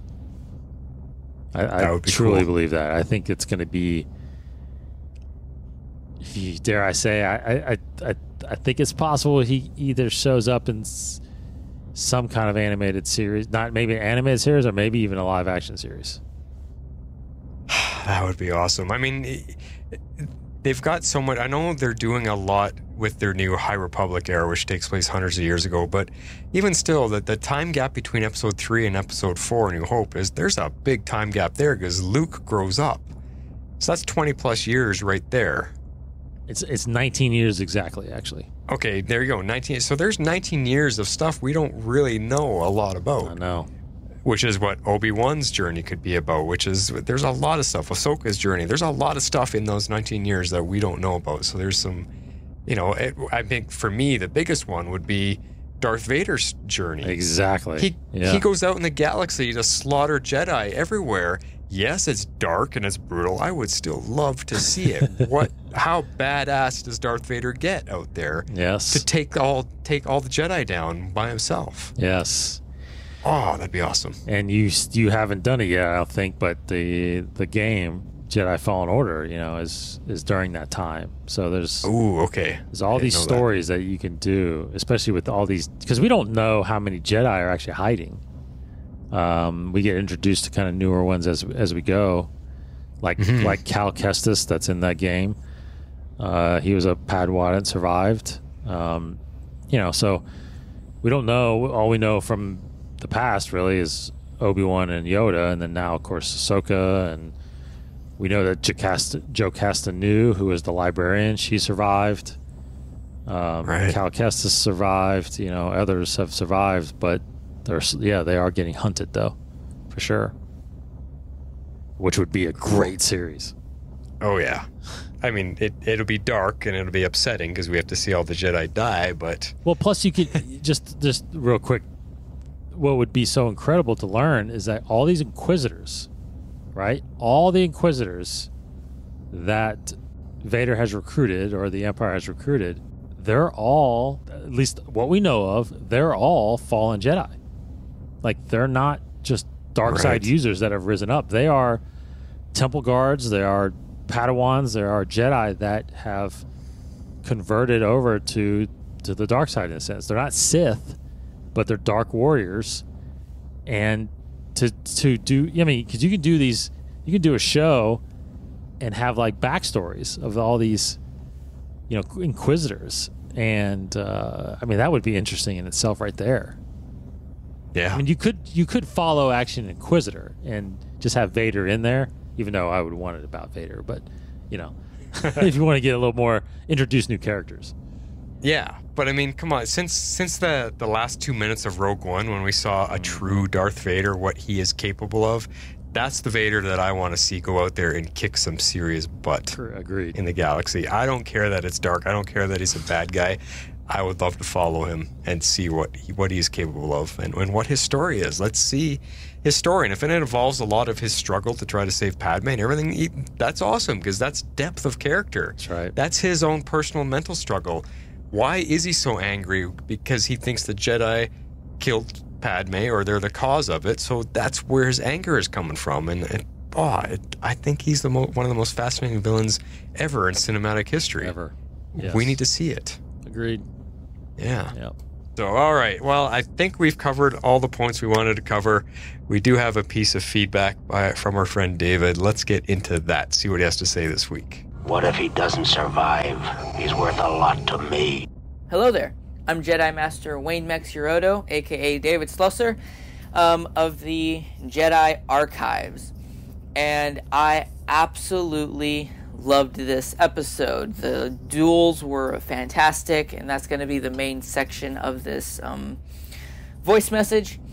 Um, and I really did enjoy this episode. I give this um, episode 200 out of 200 lightsaber duels, and I'm going to be staying in the 200s for the rest of this season. so, first thing I want to talk about is again we have a very very different um, intro than what we had last well a slightly different um, a slightly different intro from last week and very different intro from what we have had in the clone wars normally. Normally we have a recap. Normally the title card is moving away from us like in the original star wars movies um, and in the clone wars where it would move away from us and it would kind of just shrink and move away like the camera was moving away from it, and it was a fade in this week, so definitely different there. The soundtrack was also a hair different from last week's and was very enjoyable to listen to. Um, definitely some of those cues really made me just shiver and have shivers down my spine. Um, for, instant, for instance, when Prime Minister Almec was shot and he says Skywalker as he's dying, and you have that very subtle Darth Vader melody from episode six. Um, that just that just was like ooh that that's really the one that sent shivers down my spine when I heard it and it was like mm, beautiful. So I really enjoyed that they're just kind of keeping this different and each one's been a little different in its intro and just makes that episode even more unique than the last. I loved the lightsaber duels. Uh, I split them up into two separate lightsaber duels. Um, the first one being in the in the throne room. The first one being in the throne room. Second one being up in the rafters type area, kind of that tightrope duel. So I'm a lightsaber duelist. Uh, I do that. I do it as a side hobby, and really do enjoy it. I've been studying lightsaber dueling as, as much as I possibly can. Jeez, Ahsoka, cool. from all the information I've been able to find, uses a subsection of Form 4. So she is a Form 4 practitioner. She uses a subsection of it with her Shoto, uh, Shoto lightsaber. Um, so basically, the lightsaber dagger, um, which adds to her defensive capabilities. So the reason that she uses Form 4 is Form 4 is very athletic, very acrobatic. You have a lot of flips, and um, you're using acrobatics a lot more, like Jedi Master Yoda and Qui Gon Jinn also was a Form 4 practitioner. Maul uses Form 7. Form 7 is a very physical form. He is not using the Vaapad um, um, subsection of that form that was uh, created by Master Windu, so Maul would not have access to that part of the form. But he is using Form 7. He does know other moves from other forms, but that is his primary. Form 7 is very physical and aggressive um, style lightsaber form, and you see that when he's dueling. Is he's really bringing on the attack and is very much the aggressive one, very physical. Ahsoka is a lot more athletic, agile, um, keeping to the acrobatics. She's flipping, jumping, doing those things to get around her opponent. She has a lot more speed than Maul. Like they're both roughly in the same speed, but because she doesn't have that physical strength, that transitions into speed. I do like that they keep to canon that she hasn't lightsaber dueled in a while, and so she's a little rusty, a little slower. She still has it just in muscle memory and it does a good job, but at the end of the duel, you can see she's out of breath and she and she's a little more on the exhausted side of things than Maul is. I think if she had been a Jedi at this point and had that training going on and repetition going on and staying in that kind of shape, she would have maybe not been as worn out at the end. And then the second duel, I really also enjoyed this duel. This duel slows down a little bit. Um, not as fast paced, not as aggressive as the last one, and they're like I like some of the shots where they're keeping up with the footing, where they almost trip, they almost fall. Definitely a high stakes duel there, and was very fun to watch. I do like the conversation that they have during all this. I like the quips that they're throwing around, like, oh yeah, Wan said that you were hard to kill. And so those things um, definitely made that um, duel a lot more fun. So that's the end of this audio message. Hope you guys will bear with me. And I'll be sending in an email, so I'll see you on the email. awesome, man. Well, we didn't actually get an email in, but that is okay. You covered a lot there. And I just wanted to mention to uh, our friend uh, Bianca Perishan there, she messaged me privately saying, um, or actually, no, I think she put on the Facebook page saying that she just didn't have time and she'll talk to us next week. So, so I have to give him credit on this one. I learned something new about lightsaber dueling. I had no idea there was forms, like you know, different martial arts techniques, and there's forms in Jedi fighting depending on the stances and the aggressive nature or whatever you choose to employ. That's pretty cool. Do you know about that stuff? Yeah, I did. Um, it was forms go way back into the canon. Um, you know, not the canon, but into the uh, expanded universe for a long time there, and it has been adapted um, through some books here and there um, about the forms. So, right. yeah, there are there are seven forms of lightsaber fighting, and there, yeah, you can catch them in different encyclopedias, and obviously they haven't been spoken about really in in the movies and whatnot, but uh, they do exist. Yeah, seven forms. Cool. Yeah, no, that sounds cool, and that it's just cool that he's actually practicing lightsaber yeah. dueling. There, there's a couple groups here in Calgary that actually do that, and mm-hmm. I've been I've been thinking about going to maybe sign up for classes and, and join them. I mean, you have to spend the five six hundred dollars on one of the lightsabers that can handle being smacked around a lot. Right. But yeah, that'd be pretty cool. Yeah, there's a.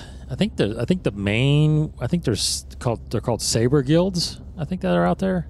Right. Um, I see them at Star Wars Celebration. Um, yeah, they have they hold those kind of things and train some people and stuff like that. So it's pretty crazy. It's pretty cool. awesome. Yeah. Now, the one point about the episode that I wanted to pull out that he talked about, uh, which we never got into, was that final lightsaber duel. I did kind of just gloss over the whole thing, but the one up in the rafters there, that is friggin' impressive. The fact that they can balance hundreds of feet, maybe thousands of feet in the sky on little narrow steel beams and stay focused enough to stay in the fight while balancing up there. That's pretty impressive Jedi stuff.